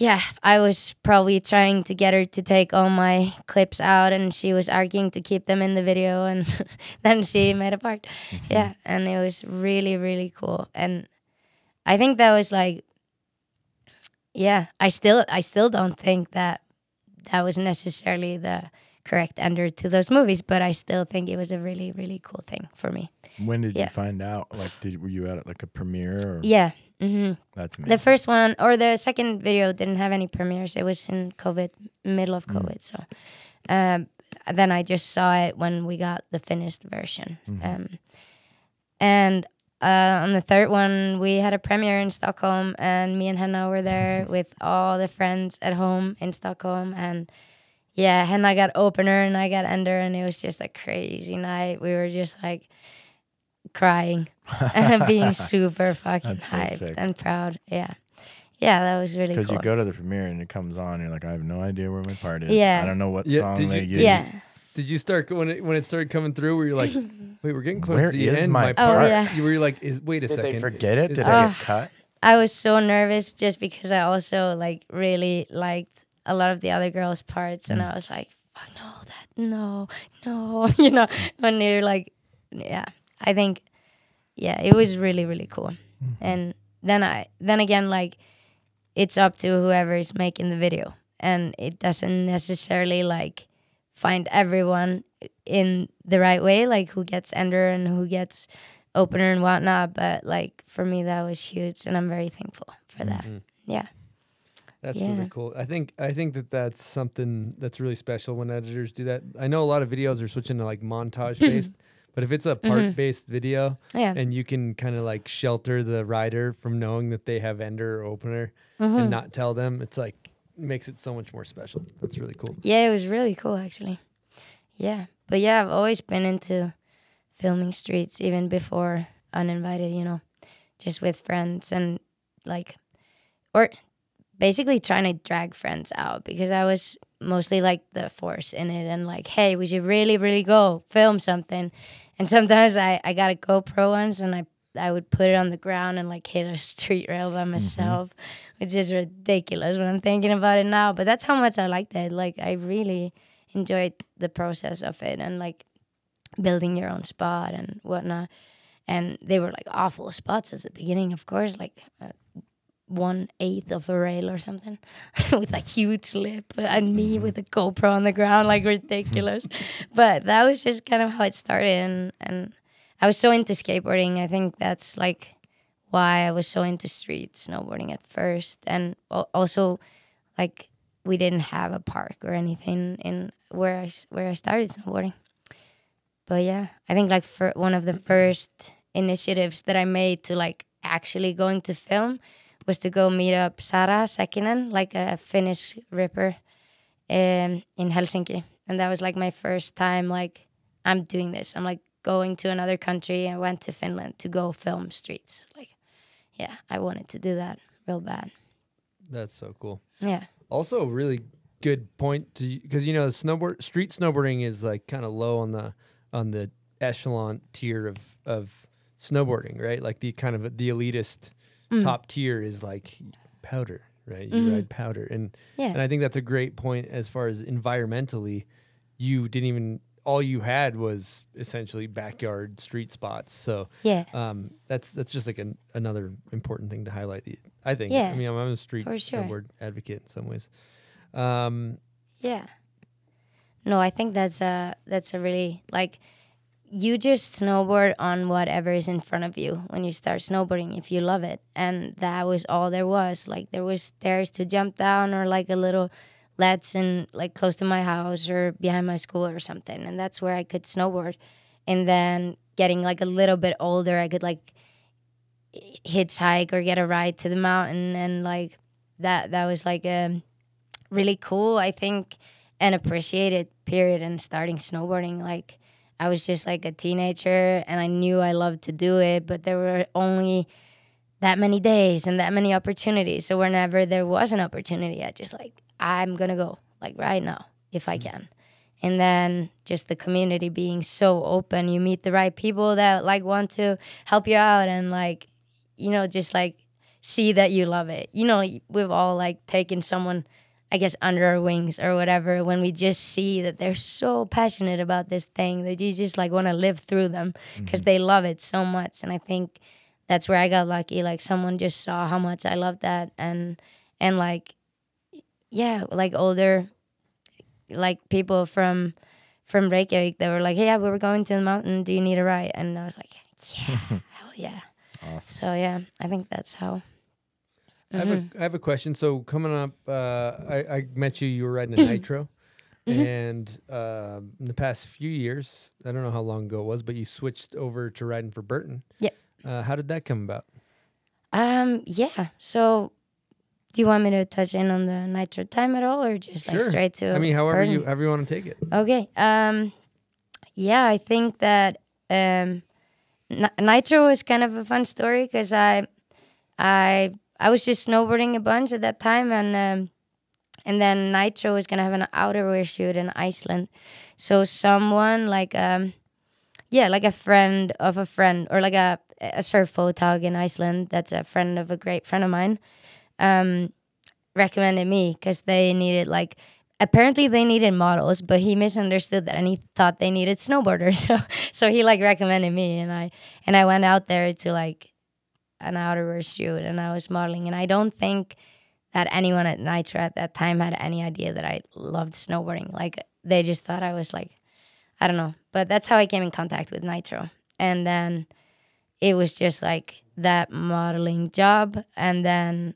I got like yeah, flow boards basically. But then um, after Uninvited 2, um, that's when, yeah, Burton hit me up. And that was because Burton was opening a store in Sweden. Um, so this uh, this uh, amazing lady, Lina, um, oh yeah, uh, she she's like the um, manager of like Burton Scandinavia. Yeah, like the big dog in Scandinavia. And um, she was like uh, trying to get a team on in Bur- in Bern, Sweden, because of the store.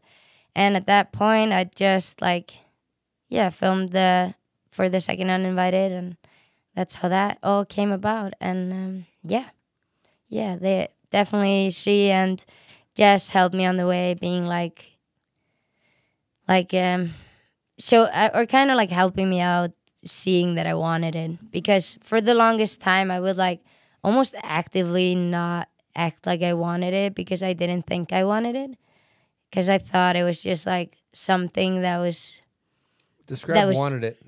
um so I thought and I sometimes I still catch myself thinking that like you get to somewhere because you're a girl or you get to somewhere because of anything else but you you know and for the longest time like i touched on like tiny bit earlier i would be like um i only want my snowboarding to speak for me like i don't want people to know who i am. I don't want them to know how i look or like anything. I didn't want to be like public.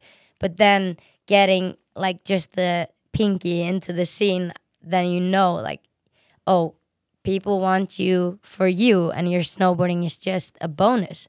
And that kind of just like opened up a whole new world for me i guess. And then for that like i guess for that reason i started to want it because i think jess made it fairly clear to me that like you you are like wanted and like you don't like because i i like i always feel like for me i'm not the best snowboarder out there. Like i i I don't think that I'll ever be best at snowboarding, but I'll I'm best at doing what I can do and like I bring me to the to the mix and I hope that will inspire other people and I know that inspires other people because sometimes other people tell me that and that that's kind of like Jess and other Lena and other other people on the way have like kind of put that into my head that like it doesn't matter. Like you are there because you deserve to be there and like you inspire people. And that's that's a pretty cool thing to hear when you don't believe it and and getting to the point where you kind of start believing it. It's really cool Mm. i think. Yeah. How special is it to have somebody that believes in you before you believe in yourself?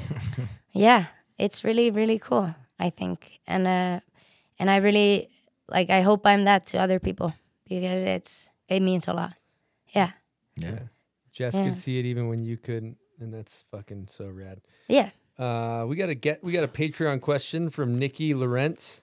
Mhm. It's a solid question. There there are female events starting to pop up all over.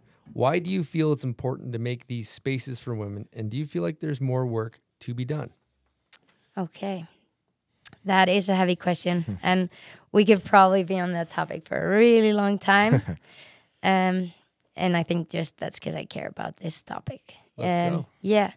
I think we'll go from the like kind of start because for the longest time, um, I didn't want to admit that there was no such thing as women snowboarding. That word was like very negatively loaded for me. I thought that was kind of like separating and putting people into like different boxes i think and and it was such a like i don't know it, it sounded like a, a negative thing to me and i'd be fully ignorant to it when people would say oh you're you're the sickest girl i've ever seen snowboarding or you know like comments like that would like get me to the point where i'd be just like kind of almost like fuck you.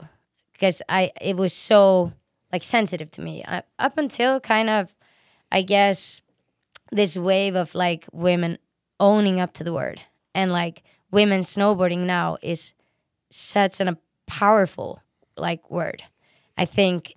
But at the same time it it is like kind of it separates things. And and i think we need we need that part of like women snowboarding uh, movement, let's say, to get to um, where we want to get to, and and then where we want to get to is probably different for everyone. But in my head, where we want to get to is just like all having the best time, inspiring each other, and being as great as we can be as a whole, like kind of community, and and like to do that, we need like the activist. So the activist comes in and like puts in all the hard work and like the blood and the tears, like kind of like uh, those women that came into snowboarding a bit earlier than I did started doing. They were full on activists like Desiree and Jess and these amazing women that just have paved an in- incredible, hell yeah, uh, have paved like an incredible like, and, and many more women before them even like just a just a little track for for us others to kind of like let's say join the movement if we see it as like a political thing like and and now it's very easy to jump on board on it and you don't even feel like you're doing anything like um, political. But just existing as a woman in the community now you're already like almost in in that movement of like we're doing this together just to hopefully get to this end point of where there isn't like just a women's event and a men's event, but like we meet in the middle and like or not even in the middle, we just meet where it's comfortable. And and and that means not women have to work to adjust to whatever is going on. That means the women are also creating the event. They're creating the circumstances. And you know, like for that to come about and when it's all like fully inclusive and we don't have to call it like um women's event or like uh, whatever for that to like come about and be just like the way everyone I think naturally wants it to be like feel comfortable and and you know be fun. Like in the end we're all just trying to have fun. So it just needs I guess it needs a it or it's uh, yeah I think it still needs some work to get there but it's a great question and I'm I'm lucky that I'm not a politician and I'm I don't want that route. Um, so I don't know the answers to how we how we make it like great, but I just I just know what I think would be great and and I'm happy that I don't have to or have to and have to put in all the work. But yeah. Something like that. I don't know if that came out right or Came out great. Yep. yeah. We're yeah, we're we're doing it and it's fun as hell. Like I remember for the longest time when you were filming, this would be a normal question. So someone would be like, "Do you like filming with boys or girls more?" What kind of question is that? Like I like to film with my friends. Hmm. Like and if that's boys or girls, I don't think that really matters. You know, like but that was a pretty normal question a couple of years ago. But now nobody, no, nobody answer, asks that question. Nobody thinks about that because like it comes down to like personalities rather than like your gender. Like it has really, honestly, nothing to do with it. like it's just like how you interact with other people and stuff. Now I'm curious when just to get a little more specific with uh and excuse my ignorance for this question, but it's, I think it's a good kind of could be a good wormhole to go down. Mhm. When you look at like the end goal specifically, Yeah. are you are you talking about uh you know more women snowboarding period? Like in general? Are we talking about like men and women uh, coexisting in videos more frequently? Are we talking about teams being equal? Like i'm just kind of like curious because it, it was a little bit vague and i'd love to hear what your vision is a little bit more particular. Yeah.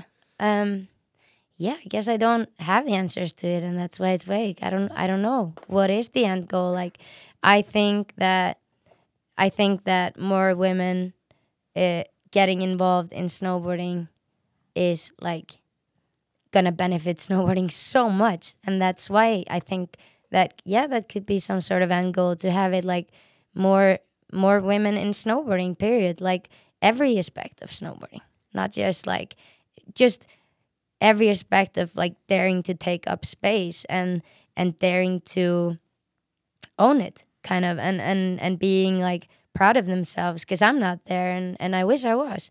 So like we we need more women to like fully own up to like i'm here and i'm i'm showing up and like i want this. And because i know there are many that do.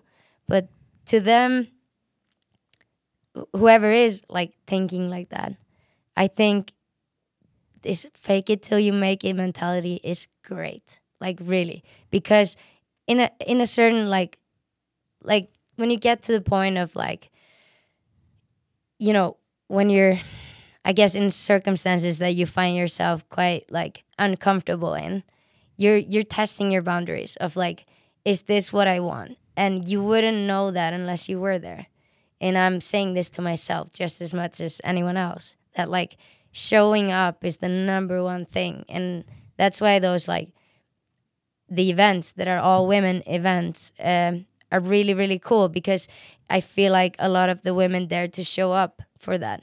But that shouldn't be or to me the end goal is not to separate the things. And that's why i would love to see that evolve into being that comfortable as you are on a women's event every day in your hill mm-hmm. that's what it it should come to like that's and and that then should like go to events as well. And I think with the younger generation, this is already happening. Yeah. And women are not afraid of success anymore, which is fucking cool. We mm. see that in the young girls.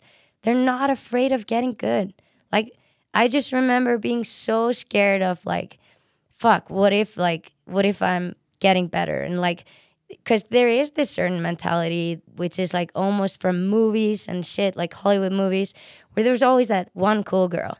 And who who was the bad guys in those movies? All the other girls. And who was the guys that accepted that one cool girl? The boys. Fuck that shit. Like that's so whack. Mm. So like I think that's what why our younger girls are so sick right now. They're not afraid to like be that successful girl because they know that the other girls will back it and it's so sick to see that come to life and be a part of it in in one way or another. And i think it's just so powerful. And that's why we're going full on activist all women's mm. because right now we need it but in hope of not needing it later. Mm. Kind of like women voting or anything, any matter that has ever been politically brought up is because someone was an activist and mm. said, fuck this. This is not cool. Like we're changing this. And and that to these people, like hat off, like that's an insane position to be in where you believe in justice more than your own well being. Like you're ready to go and go through shit, feel like shit, just because you know something is like something is more important than your own well-being. That's kind of what it is to be an activist, I think. And and I'm I'm not ready to do that in any ways, but I'm ready to jump on when someone already is going. And I think that's a choice. Like that's a choice that that should be very like um I don't know. I think to a lot of people that's that's where we can help. And and when we jump on that like movement, we feel good because we have like found ourselves and we care and we are ready to put in like certain amount of our energy into that, but not all of it. Like in a way. I don't know. I might be talking too much. No, you just hit some you hit some flow state there with some good topics. Fuck. It's really good. You're gonna have to edit all of this. No, no, no.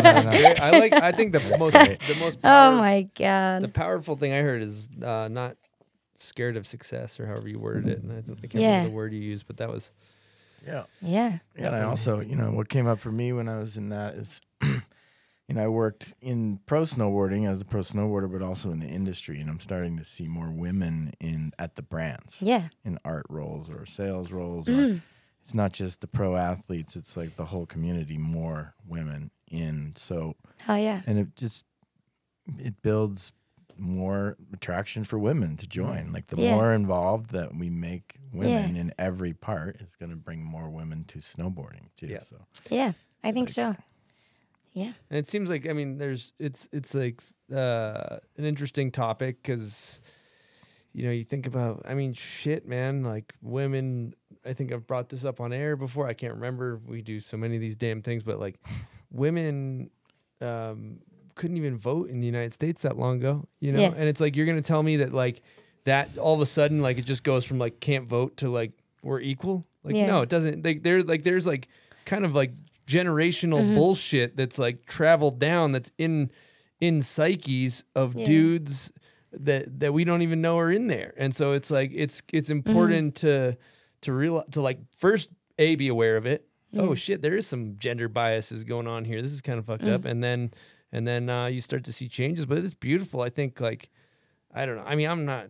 This is complex socioeconomic shit that I don't fully understand, you know. and I'm a dude, so forgive me in a lot of ways. But I feel like it's beautiful in the sense that like a lot of my friends' kids, you know, and my family's kids that, that have daughters, that they're they're raising them not to be like it's like oh you want to snowboard like, like you're coming snowboarding you know Yeah. where used, there's a little bit more gender norms there's like Yeah. maybe the maybe the boy son's going snowboarding and and the girl's gonna do something that's n- not as Yeah. dangerous or something you know Yeah, for sure. I think it, I think just like I don't know, in general with this topic, it's always like a little bit for me it's still like a little bit touchy because I've for the longest time I wouldn't even acknowledge that there was women snowboarding. And if anyone said that, I would say there's no such thing. There is hmm. only snowboarding Mm-hmm. because I loved snowboarding so much that I didn't want to be identified as anything within that. It was my free space. Like I can be just me. And then putting that into a box and like and, and same goes for like when people say like street snowboarder or whatever, like to me that's like that just comes to identifying yourself. And like I've I've like actively tried to choose to not identify as too many things because when you do that, not only like uh, do you find like safety in identifying as something which is a positive thing but you also limit yourself. And and that's like when you limit yourself there's like there's there's these scary moments of like when am i being true to myself?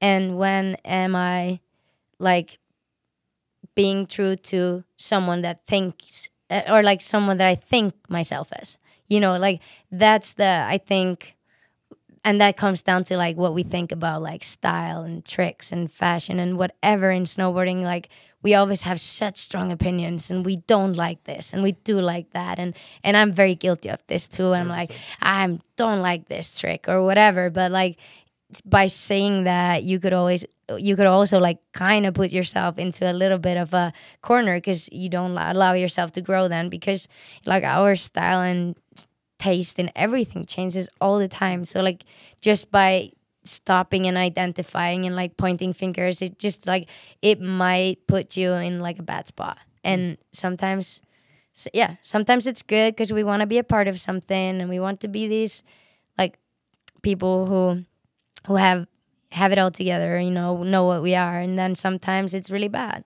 i think i know Can I elaborate on an example of that? Uh, Yeah. It was coming up as you were talking, Mhm. just because you got my wheels spinning. Yeah.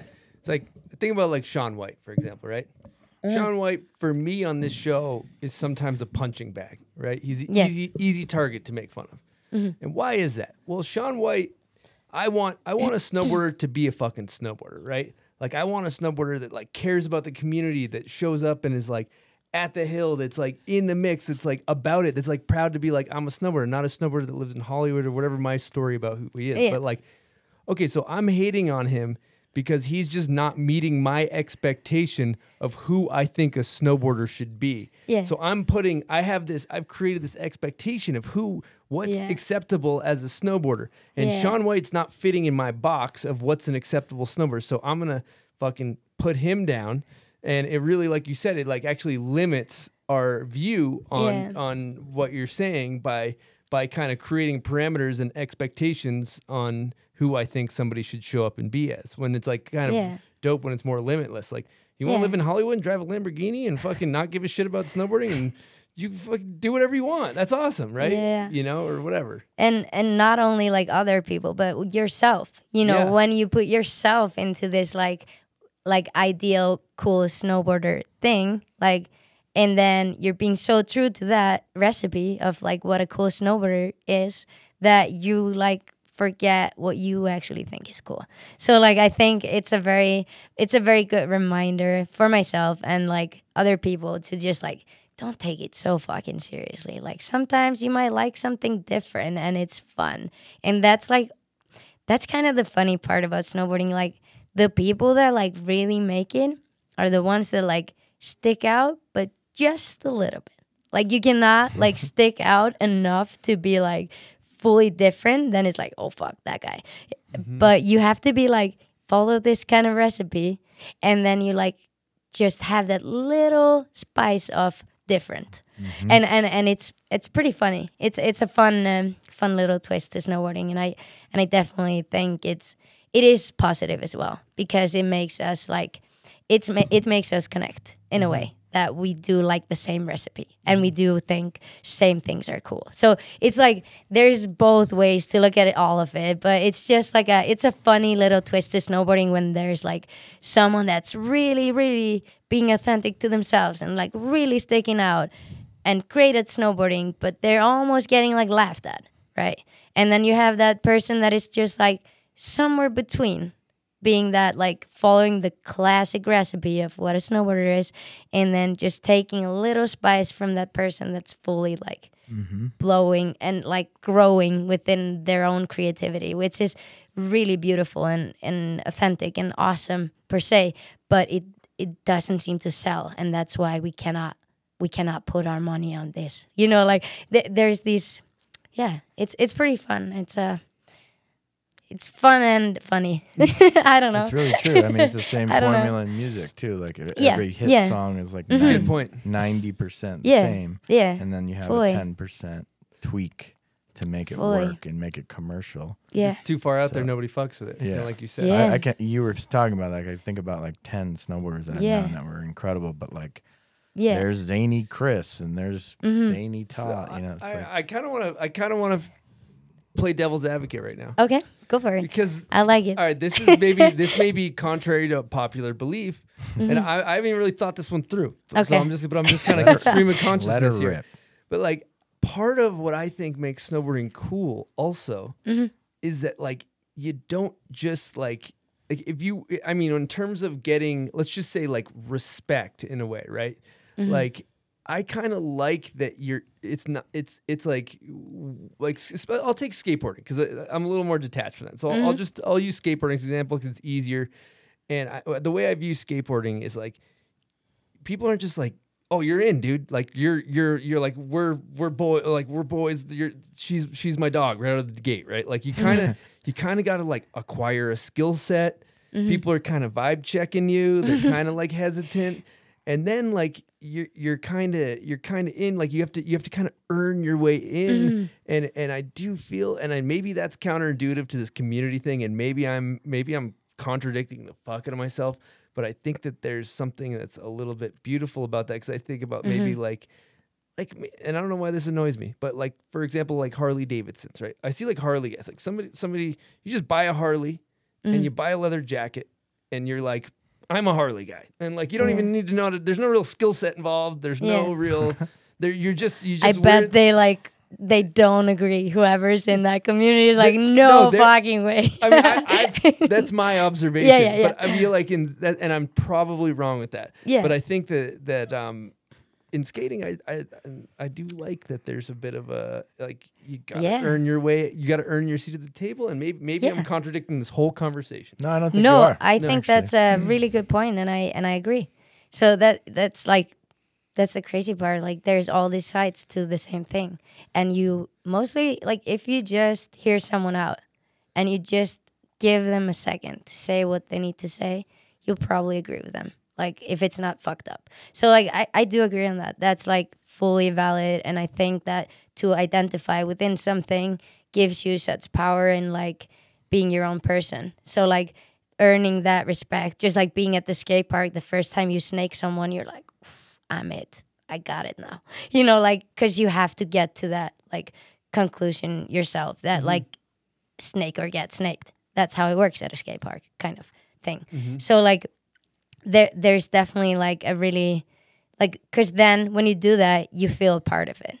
And that gives that person or yourself in that case like the validation of like i am accepted. And that's a beautiful thing. So like mm. walking that ladder to get to the point of like being accepted in a community is really really cool. And that's like really precious. So in a way that is a really good thing because it makes people feel more uh, selected and and like I guess precious and like makes them feel like they belong. It's funny because I go to the mountain and I see uh like in the line there's at Brighton it's like a million pros. Yeah. But if you really look around, it's like 10 pros and like 90 people that don't give a shit mm-hmm. at all.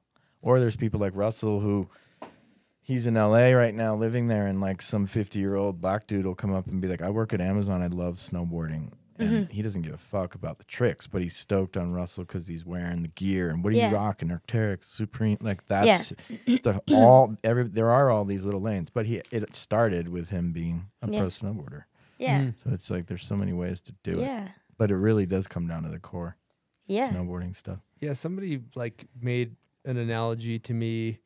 Uh, I think it was Brad Steward, founder of Yeah, On Fire. maybe? smart dude. He was talking about the like it was like a, a pyramid, Yeah. right? Like, and it was Yeah. like, you know, the the kind of the core is at the top of the It's pyramid, like five percent, ten percent. five percent, but there, there's kind of like behind it Oh, yeah. follows the layers of the industry, and and inevitably at the bottom Mm. is probably like the general public Yeah. that is a snowboarder, but Yeah. maybe or a guy, who, a, a person who snowboards, maybe not a snowboarder, Yeah. is at the bottom Yeah. of it. Right? But they probably work a normal job, and their highlight of their life is probably when they get to go snowboard. Yeah. mm-hmm. So for they sure. love it just as much, likely, Yeah. but they just haven't turned their whole life into it Yeah. Mm-hmm. because we're psychos. Yeah, yeah, because there is there's Yeah. this other part of it about being like trick snobs and like this yeah. trick's cool and that trick's Yeah. not cool. Yeah, and we're all guilty of it. Of like for sure, we can sit in and talk, talk like Jedi's, but I'm sitting here like, fuck that trick. Yeah. you know, for Yeah. sure, Yeah. for sure. Be- because we have an opinion. Like we think some things are cool, and we think Yeah. other things are less cool, and that's like changes all the time Mm. too. Mm-hmm. I think. So that's pretty funny. Yeah, It's super rare when someone is able to put it all together and then Mm. forget it all and not give a fuck and Mhm. still kick, still pull it. Yeah. There's a few people that have pulled that off. I I- Yeah. that's vague. I need an example, dude. You gotta stop chewing that. I'm, go- I'm gonna, I'm gonna stop. too. he loves the candy. Those Hell are so good. Dude, you can't be having, you can't be munching that shit in the air But- headphones. I don't know, like someone like uh like Rav kind of plays that line a little bit Yeah. because he's like really fucking good and he'll do something gnarly, but then he can literally hit like a one foot transition Mm-hmm. Yeah. and just be wild with the edits and the Yeah. music Yeah. and the f- he doesn't give a fuck. But it's really it really is still using the eighty percent for- formula is all Yeah. there, and then it's Yeah. the sauce is just turned up a little harder than most people. Yeah. And You know? I, I that's a great topic. Like uh jibbing, smaller stuff, making it look good. I think that is like that's my dream.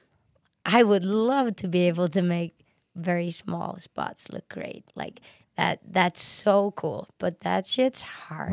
Mhm. really like It's insane. insane. like Scott Stevens or Rav yeah. or or Len Jorgensen. We have Alec.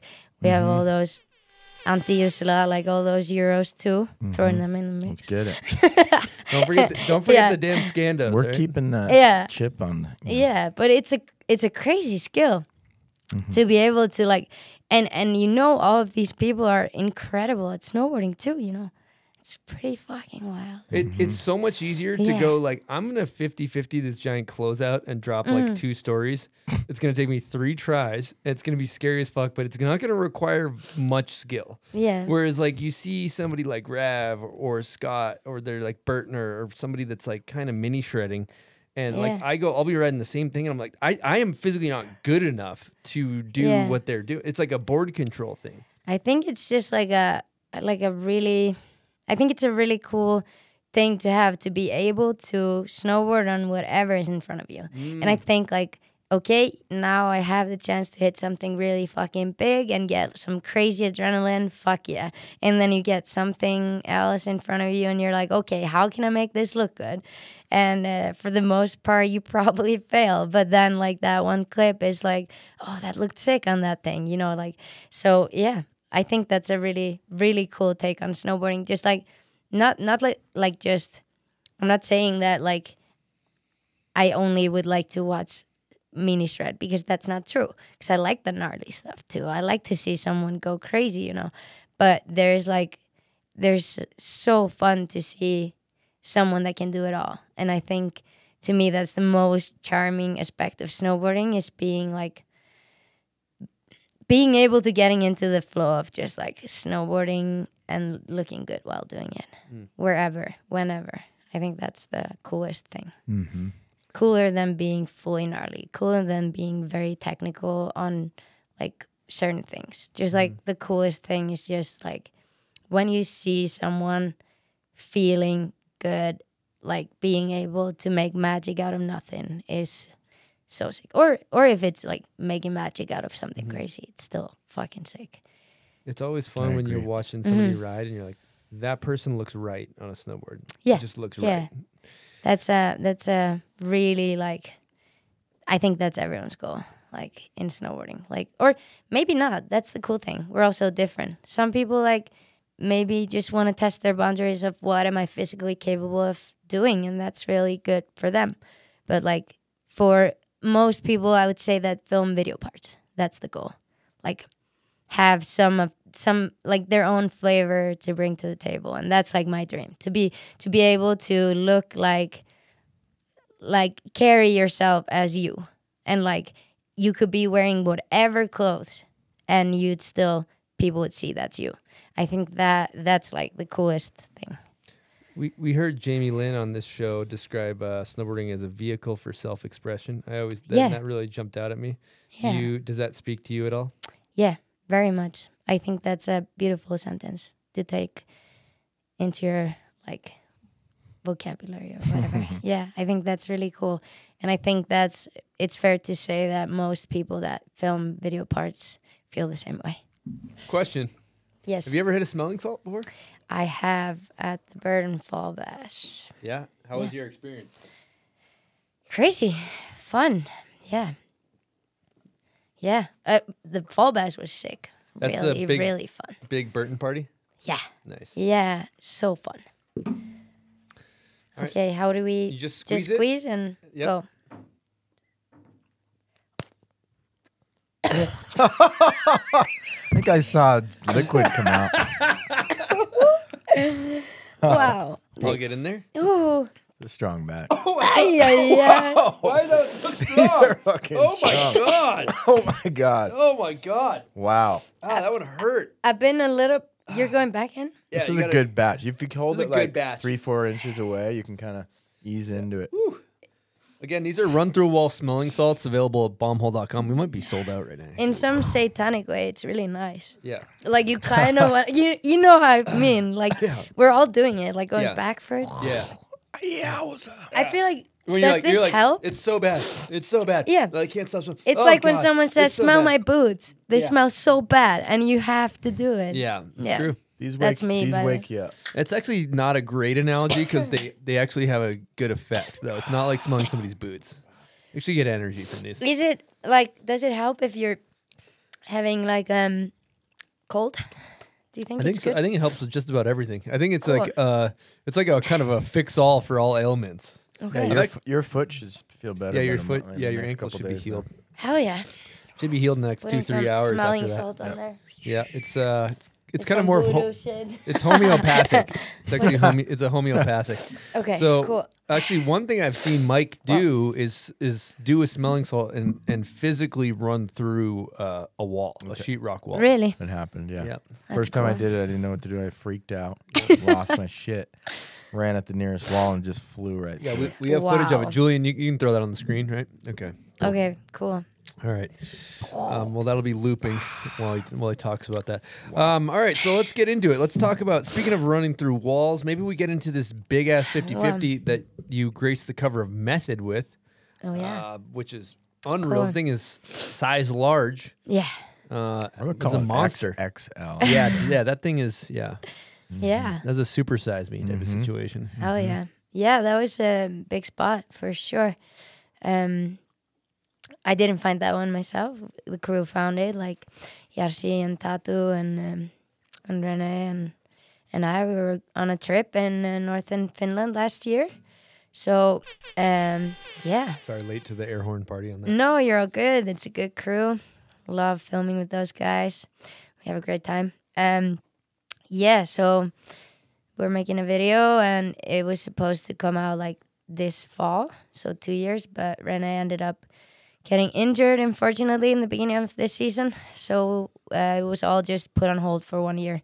So we haven't filmed this year for it, and then next year will be the year for filming it. So we're gonna have to wait a bit for the clip. But um, yeah, that was a crazy, crazy spot, and we built for probably all in all like twelve hours to get that spot going. Uh, it was a warm day, and all of and it was right in the sun, so all of the snow around had melted.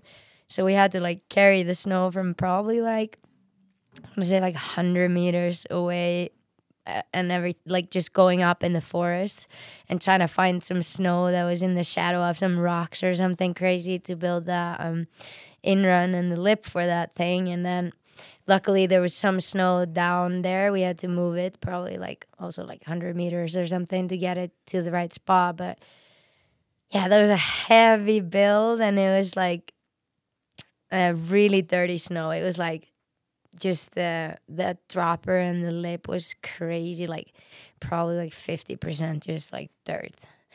And yeah, just um it's just like those um yeah, you got to go off the end of that thing. There was no nothing else. So, and it was really rough at first, but we had a rub brick and uh, also like drooped wax on there. So, What about Yeah. the what about the snakes?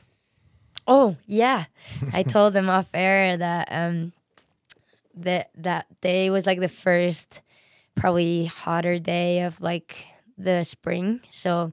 This, there were so many snakes when we were building it. They were all like crawling out to like sunbathe, and it was just like a bunch of snakes we saw around that spot. It was like pretty crazy. We were just like, yeah, just like harvesting the little bits of snow we could find, and and then just like making sure to not step on snakes. It was pretty fun. Yeah, it was a crazy one for sure. Now thinking about a trick like that, that's a straight up no fall zone. Right? You Yeah. can't you can't go down on that. Um, yeah, I mean you can go down in the landing, which I did a couple of times. But you can't you can't I guess heavy, you can't heavy impact. early. You can't oh yeah, early. yeah, true. How did you how did you Um, get yourself in the mental mindset to Um, yeah, good question. I think I was just like, um, yeah, I was just hyped to. I don't even know. You know those things where you just kind of do them and you don't know how it works in your brain. But I kind of like when I'm at a spot that I think is scary. I usually just want to go like right away. I don't want to stand and like.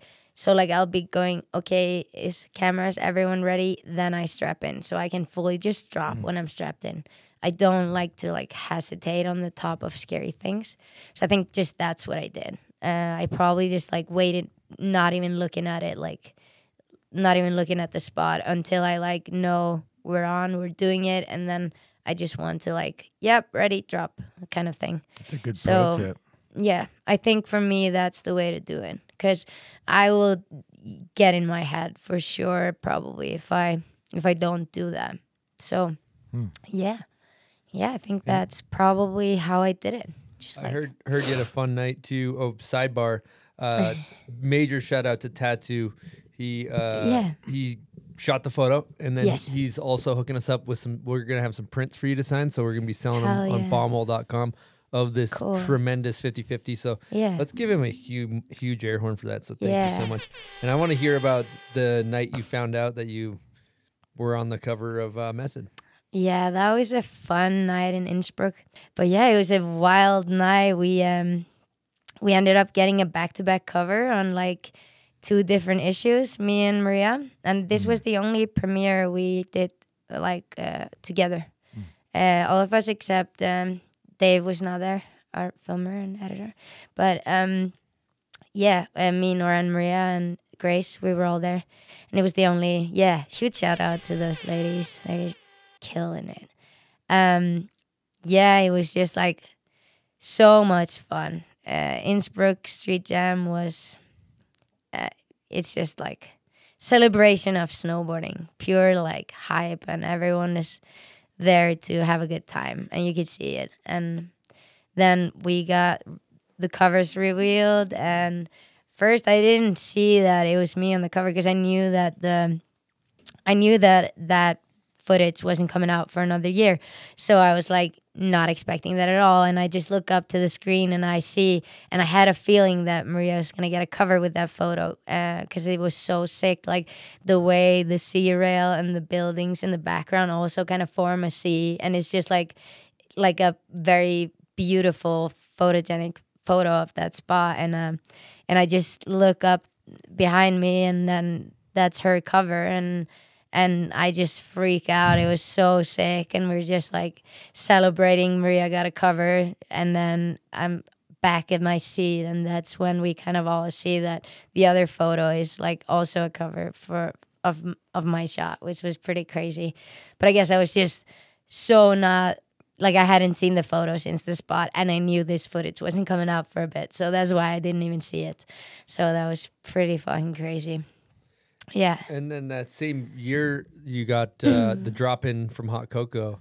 Also, Yeah. ano- so you got two covers this year. How was it when you figured out you got land on the other snowboard mag? Was that what it was? Yeah. Yeah. That was pretty cool. We were all at the um, um, we were at the Fall Bash in Vermont at the Burton headquarters.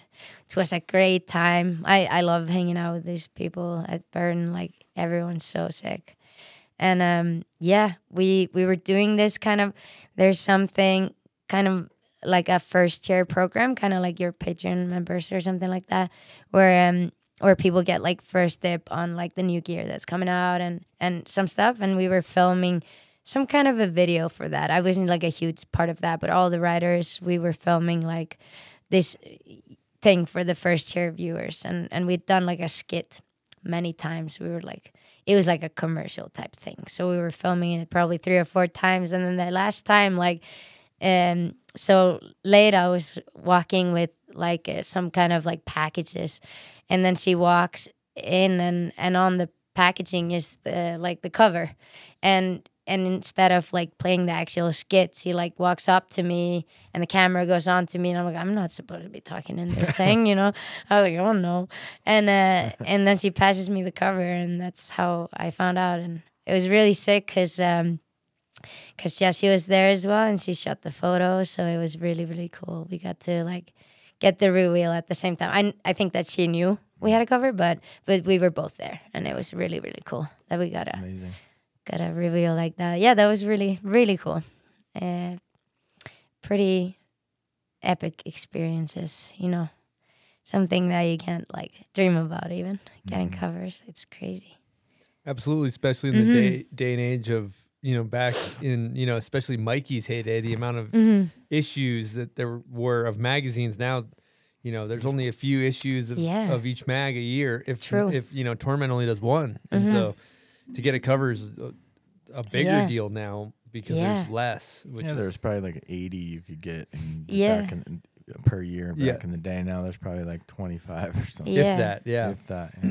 and it's it's very cool because I think both of these things is some like both of these photos are photos that I'm really hyped on. Mm-hmm. Like, um, because there's always like gonna be that question in your head, which is like, ah, did I get this because Mm. of you know it was sick, or did I get this because someone you know like is pushing the women for you know like there's that that still really pops into my head and mm. like i wonder if i just got covered because of that or this or that. But then i know for a fact that i'm really proud of both of those photos. I, I like them both and i think the photographers did an, an incredible job and i think even the spots without me look great both of them so i'm like really hyped Yeah, you should be. yeah you should be. yeah Yeah. Well, I think That's that's, pretty a, cool. It's a good time to talk about Hot Coco because that's the latest, Yeah. the latest and greatest project. Mhm. You, uh, you guys absolutely destroyed in that, thank you and it seemed like there was a good, good vibe, good chemistry, Hell uh, yeah. good crew. Yeah I'd love to hear your take on filming for Hot Coco. And if anybody hasn't watched Hot Coco, go watch that. It's shit. a mind blowing video. yeah thank you Game changer. No, I think we, me and Maria have been talking about for since the first uninvited, where I had like five clips or something, where she filmed the the under part for that. Um, since then, we basically talked about wanting to film together, and we never have because we just like, yeah, it didn't align, you know. And uh, and I'd never met her before Hot Coco, like in person. So um, yeah, when I got on Burton, like one of the first things that I did was hit Maria up and say, "We should go film now. This is perfect. Like now we can do it." And um, yeah, I was like, "Fuck yeah, let's do this thing." And and Maria was more than like she she took the lead on it, which was like perfect for me because um, I was ready to dream it and suggest it, but I I probably I wasn't ready to put in the work that she did, and she killed it on like the work ethic. Like she just went full out like she does best, like just yeah, being awesome. And uh, we try to involve the other girls as well, and, and we got Grace with us on on a trip, and yeah, it was just a great experience trying to trying to create something. And I think for me, like writing with Nora and Maria, like I I see a lot of like difference in my writing. Like I picked different spots and I did different things, just the way we like thrive off each other's energies and stuff like that. And I think that was um, that was definitely a good learning experience for me to like just yeah use other methods as well and you know like when you when you take something from everyone that you kind of film with and and use that and i i think both of them have inspired me a lot to like just um yeah i guess in a way like think bigger i've always been more of like um I'm such a feelings person. It has to feel good, but now I'm I'm realizing that sometimes you can push through that and do like crazy shit, you know. And that's fun. I think both of them have really inspired me in that matter. Yeah. Yeah, there's that's a that's a fun Yeah. blend to talk about too. It's like snowboarding's a blend of like tenacity sometimes of like not taking no for an answer. Mm-hmm. Yeah. Because you got to have a little bit of that grit, but there's also Yeah. like the feeling part of it that you mentioned is, is Yeah. another factor that kind of almost contradicts Yeah. that. But it's it's fun stuff to Yeah. think about.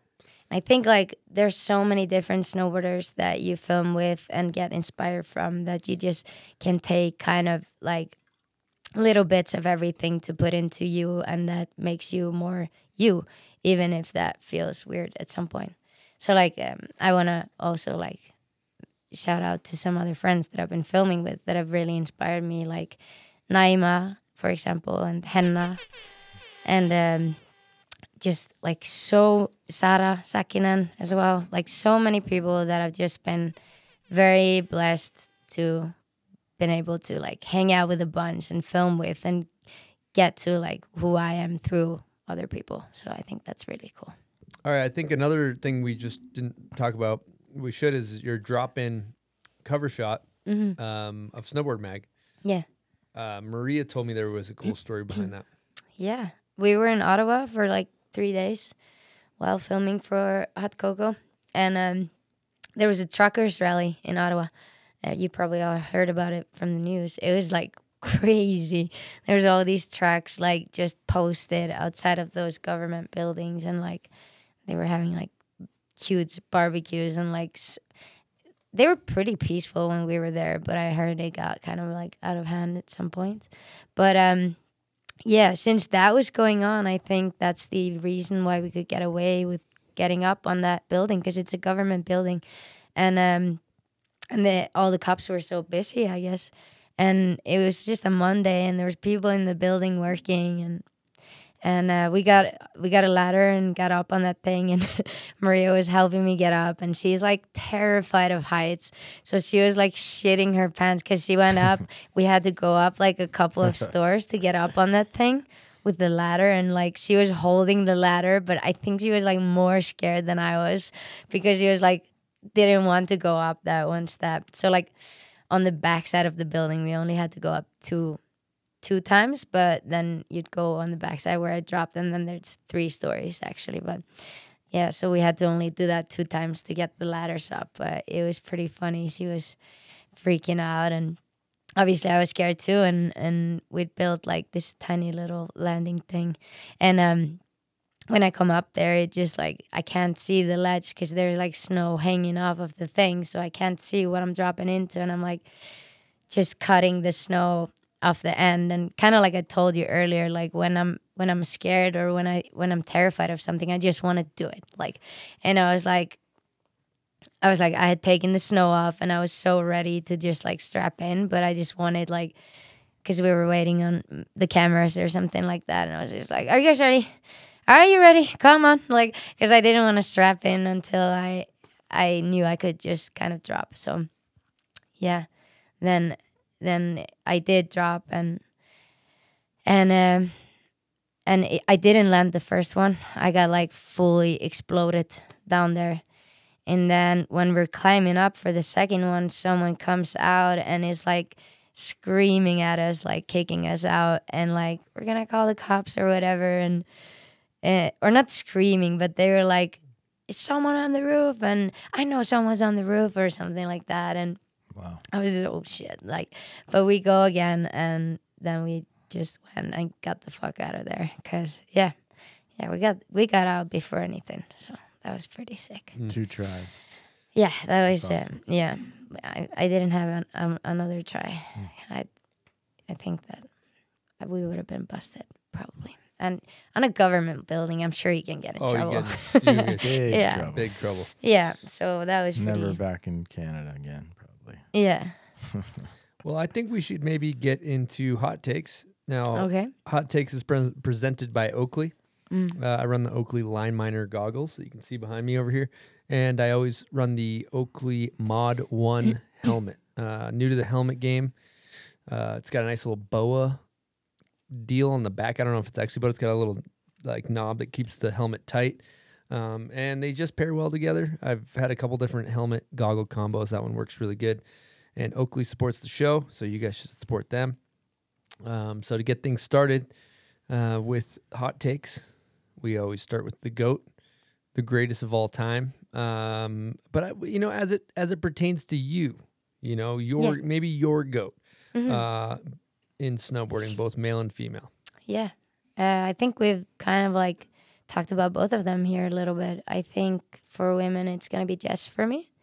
Um, being a huge fan before even getting to know her. And uh, just, yeah, an all around snowboarder. Like sick in the backcountry, sick in the streets. So I think that's like Jess for me. And then I think Halldór as the male. Okay, next one we like to ask is: Would you consider snowboarding an art or a sport? Yeah, I think um, both. For me, probably more arts or, or more down that route, but both. Yeah. Okay, who's the most underrated? Well, um, I want to give this one to my my great friend Sebbe Landmark back in uh, Sweden. Yeah, he used to ride for Lib Tech in in the back in the days. Yeah, Okay, steel or powder? powder. Yeah. Wow, Definitive choice. All right, uh, best style ever. Christy Prior. Damn, haven't got that one, but I like it. Yeah, Best method or favorite method? probably Nicolas Müller. Okay, favorite video ever made. That one is too hard to answer. But yeah, I I'm just going to go with like if someone tells me to name a snowboard movie because I watched it so many times. So I think it's that for him that. It's not I don't think it's the greatest movie ever, but I do think for me that's like one of the sickest movies that got me hyped on snowboarding. Yeah. That's perfect. Yeah. Um, best, or maybe just maybe favorite's better than best. Favorite snowboard graphic ever. I think I got a snowboard from Nikita at one point that an artist called Tulipop made the graphics for, and all the different sizes of the boards had different graphics, which was really cool. And uh, one of the I don't know which size it was or what exactly, but it was like a darker graphic with with like these um, forest looking characters. Really cool. It's a great great artist, like adventurous cool, cool artist, I think. So I'm going with that. Okay, and would you go pants over or under the high back? What's your stee on that? I think I go under. Um, Most people do these yeah, days. I don't think I think about it that much, but yeah, under. Used to be a thing back in the day. Yeah. Okay, uh, if you go heliboarding with three people Wow. and you're just going, you're just going to have a good time. Yeah. Who you taking? And Mm. again, again, I mean, you can you can choose somebody in snowboarding. Yeah. You can choose celebrities. It's kind of a there. There are no rules Ah, yeah. to this. Okay. Choose whoever you want. From any era to Any like era, any dead or alive, whatever. Wow. We'd be we'd be pretty cool to go snowboarding with the Beatles. I think just like all of them in their young days. That would be cool. That's but dope. yeah, too many friends Yeah. to pick from. I love that. Yeah, let's go boarding with the Beatles. I like that. okay. Uh, last question. Worst trend. Let's just go. Worst trend is um is uh, not owning your style. Hmm. I don't know. Is that a Elaborate on that. Uh, I don't know. Just like being uncertain if if it's cool or not what you're rocking. Like you can make anything cool if you just rock it, kind of thing. But when you're like dipping a toe in, you know, and like not knowing if it's cool or not, but you're still trying to rock it, I don't like that. Mm, I don't know. Is that a trend? That's probably not a No, trend. it's, I think that's a Yeah. trend. Yeah, I totally think I see. Yeah. I see that. yeah, you know, like jumping on something that you Yeah, people buy style or they have style. Yeah, yeah. So- Because you like in in fashion and stuff, you like anything can be really sick. Yeah. But if you carry it the right way, kind of thing. True. For sure. Yeah. It's a good point. I think about Yeah. my yeah, totally. I always think about it in terms of gear. Yeah. Like Gigi Rüf could always like make the craziest Volcom shit look good. Yeah. But like you put it on somebody else, you're like, I don't know about those. pants." Yeah. and you see Gigi wearing them, you're like, damn, those are sick. Yeah. Well, yeah. Yeah, I think it's like it's pretty cool. Like those people that can just like put on anything and rock it. Mhm. It's because they're so confident Mhm. that they're just gonna be like, wow, For sure. look at that, you know. And I think that's a really, really, yeah, it's fascinating. All right, Mike, you know what it's time for? No, I don't. It's time for the pub beer crap shoot. Ooh, I love that. Do you know anything about pub beer, Mike? I do. It's an easy drinking, delicious beer, and it's super easy to spot. It's just white can, black logo, really easy. Are you familiar with their motto? No, I'm not. What is it? It's actually cheap, fun beer, Mike. Wow, I like that. Yeah, and uh, I I'm like not cheap and I like fun. Absolutely. Mm-hmm. um, well, if you're thinking about responsibly getting um, completely obliterated, or you know having one beer responsibly, I should say for legal purposes, um, what are you gonna choose, Mike? I'm gonna shotgun a pub beer right now. God, I love that. Okay, so um, what you're gonna need to do here? Oh, I gotta we got the theme song. I gotta play the theme song. Welcome to the Pub Beer Crap Shoot. All right, roll some dice. We'll tell you what you got to do. Um, it's a five and a three, so eight. Eight. Tell us about a breakout moment that helped launch your career. A breakout moment that helped launch my career. Um, we, yeah, going to the states for the first time snowboarding. I think I had been talking with Naima on Instagram because Jess said, "You guys are gonna get along great," and she was so right. Um, so I hit up Nai and me, Savannah, and I did a week in uh, Minnesota, and then after that, I went to Salt Lake for the first time. And um, while in Salt Lake, um, I met a bunch of people that that I think was was a really really good route into like making a name, making a face in snowboarding. And one of those things was showing up to the to the rail gardens when L1 was filming their out of her video. And and uh, Leah, your ex girlfriend, she she really stood up for me there. Um, she was like, because I I just happened to be in Salt Lake and L1 was filming like um, a video there, and at the time I was getting like flow snowboards and uh, gear from a store called Stental in Sweden, and um, and I showed up to the rail gardens and then. she's just there screaming like when when we're jibbing and taking photos she's just like why is this girl not on the team? What the fuck guys? And like in front of like everyone it was so funny. But yeah.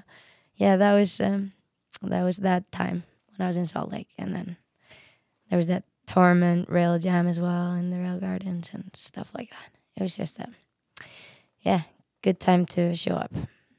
Yeah. Awesome. Good stuff. I was watching you Mhm. that's during that session as well at the whole time you were riding the rail gardens and Mhm. you know there's some people that are that are video part boarders that are you're just like you watch their part and you're like holy shit but they turn the volume down when they're just riding and they're maybe not filming. You were fucking shredding. it was aw- I remember being like holy Yeah. shit. thank you She's insane. So that was that was cool to see. Like you're an in per- in person boarder, which is not oh, always yeah the case. thank you Yeah. Yeah. that's cool cool to hear thanks Um, and it sounds like you know if I'm gonna highlight what I heard there is sometimes Mm. the trick is just showing up. Yeah, for sure. I think that was for me showing up and like, and kind of like daring to have success as well. I think Mm. like, like owning up to it. I, I was being the worst trend at that time, you know, not owning up to to what you're doing. But yeah, All right. So I've heard from a few people now that you've worked quite a few jobs, and one that stood out to me was a flight attendant in Iceland. and then Yeah. once you had done that, you also attempted to do the same somewhere else. yeah. So I've worked as a flight attendant, and that's kind of hilarious because I'm tiny, And um, I remember first time meeting Ivika, for example, she laughed so hard because she was imagining me like really tall, just because she knew that, and then I was like this tiny little person. Um, but yeah, I guess uh, that was a really, really funny job to have for on the side, and it's really fun. Like I loved it. It's like um, high tempo problem solving. It's like fast and fun, and you get to like. I went to the states a bunch, for example, and I, w- I would always bring my like skateboard in my um, in my like rolling bag sticking out of there, and people would be like, "What is that?" and uh, yeah, that was a really fun job, and I think I would still do it if I could do it in Sweden, but um, yeah, there's height limits to working as a flight attendant for the most companies, and they claim that this is like a security re- or like um, it's like a safety thing that that you couldn't reach the like safety equipment that's above the heads, but like if you're a problem solver, it's just like funny because you might be like way quicker at thinking than anyone else. Whatever, just like jump on the seat and grab the shit. Like there, it's so easy, but in their head, I think it's more like to standardize the looks of like how a flight attendant's supposed to look like. You know, like she should be skinny and tall and pretty or something. I don't know, but yeah, I yeah I worked with that and I worked with a bunch of other stuff. Just like I would work like half years, just like full on two three jobs, and then just go snowboarding like rest of the year. And um, yeah, then now I'm working a bit less, so like I can snowboard more, which is great. But yeah, Cool. yeah, I mean, That's respect. yeah, that's a lot of respect. I mean, I imagined if I was a flight attendant, I'd definitely have to be climbing on the seat, putting stuff yeah, up. I'm Yeah. sure you were the same. yeah, yeah. And How tall are you?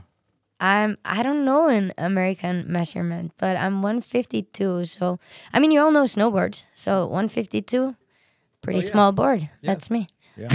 Yeah, that's a good Yeah. jib board. Like a, s- like a Yeah, dude's jib board. yeah, I'm 152. Um, that's hilarious. That it totally like makes sense when you do that Yeah. conversion. Um, all the flight attendants I know Mhm. or that I've met, I don't really know any too well. Actually, I do. Actually, Spencer's mom's one. Yep. Debbie, give her a name. Spencer Schubert. Uh, Oh yeah, cool. They party. Yeah. Is it oh my god, it's, It's like a fun. big yeah. party vibe. yeah, it's fun.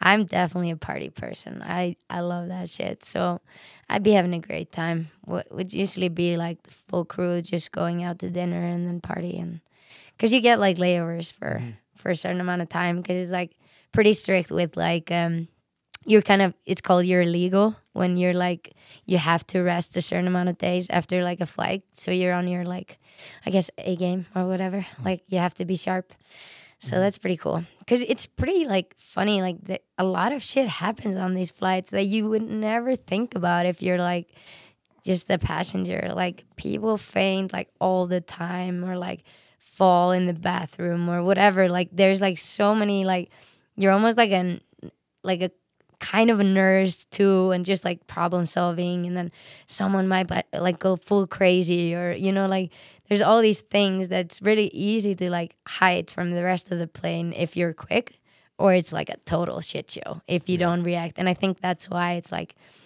a, a little bit of like I, I have so much more respect for like flight attendants after I worked with it because I thought in my head like before I worked with it it was like just like serving food and like I don't know putting up the bags when people come but it's quite stressful sometimes but it's great I like it I love it. Well, one thing we always ask our guests that come through is we always ask them about their snowboards and their setups. So, Yeah. what uh, what board do you riding? How do you set it up?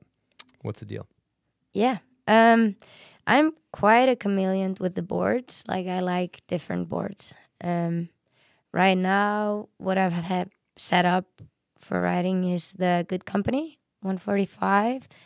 Um, set up on the bindings right now would be like 18.5 or something. Um, and um, stance just varies all the time, and my angles. So I, I wouldn't say I'm full geek there. I just I just do whatever feels comfortable and then I might change that and yeah. and then my street board would be a bit shorter. And right now I ride the Rewind for streets. Name dropper is called as well for the men's. Do you Yeah. uh, detune? I do not. You read razor sharps. Yep. Respect. Yeah. Um, Forward lean. a little bit. It's better on my knees. I have pretty bad knees, so yeah, a little forward lean just for the body. And what other sponsors you rocking? Got Burton Outerwear. Uh, crab grab and um, aperitif eyewear. That's Killer. Mhm. We, we got a good uh, Patreon question from one of our Patreon members about the Burton products. He says, Yeah. I have questions about the Burton snowboards. okay. Does her binding hardware come loose quickly with the channels? No, not for me. For me, it's been really good. Like, I think for me, since I got on Burton, I've, because I'm a smaller person, like, it's sometimes with other companies, it's been hard to find good gear, you know, but, but it's easy. They have the sizes in every size, which is great for me. And I haven't had any problems with it.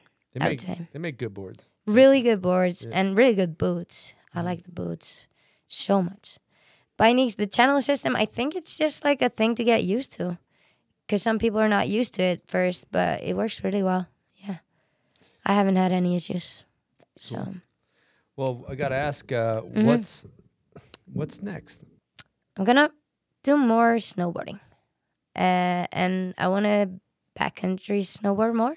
And I've I've always like seen myself as like an all around snowboarder, not like the one or the other. But um so I, I want to like I want to keep snowboarding to keep that accurate. Because if you go full streets, then you kind of aren't very all around anymore because you don't spend as much time on your snowboard.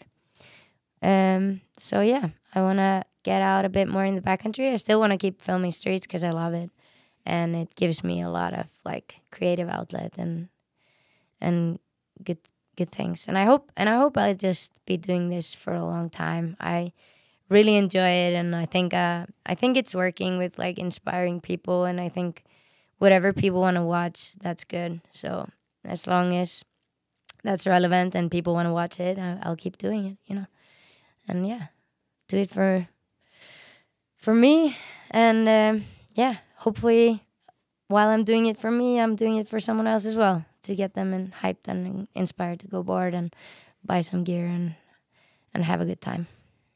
Yeah. That's that's beautiful. Mhm. Um, and then lastly, if you want to throw any thank yous out, you can before we wrap this thing up. Yeah. Well, um, I'm so scared that I'll just forget everyone, but so I'm just gonna throw out a really broad thank you to like everyone. Um, I think it's thank you to you guys as well. It's pretty cool being here. Like I listen to the Bomb Hole all the time when I'm driving and shit. It's really fun, and um, yeah, thank you all for listening and everyone that's helped me along the way. A lot of good people out there. They know who they are. yeah. Well said. Yeah. Well, appreciate you coming on the show.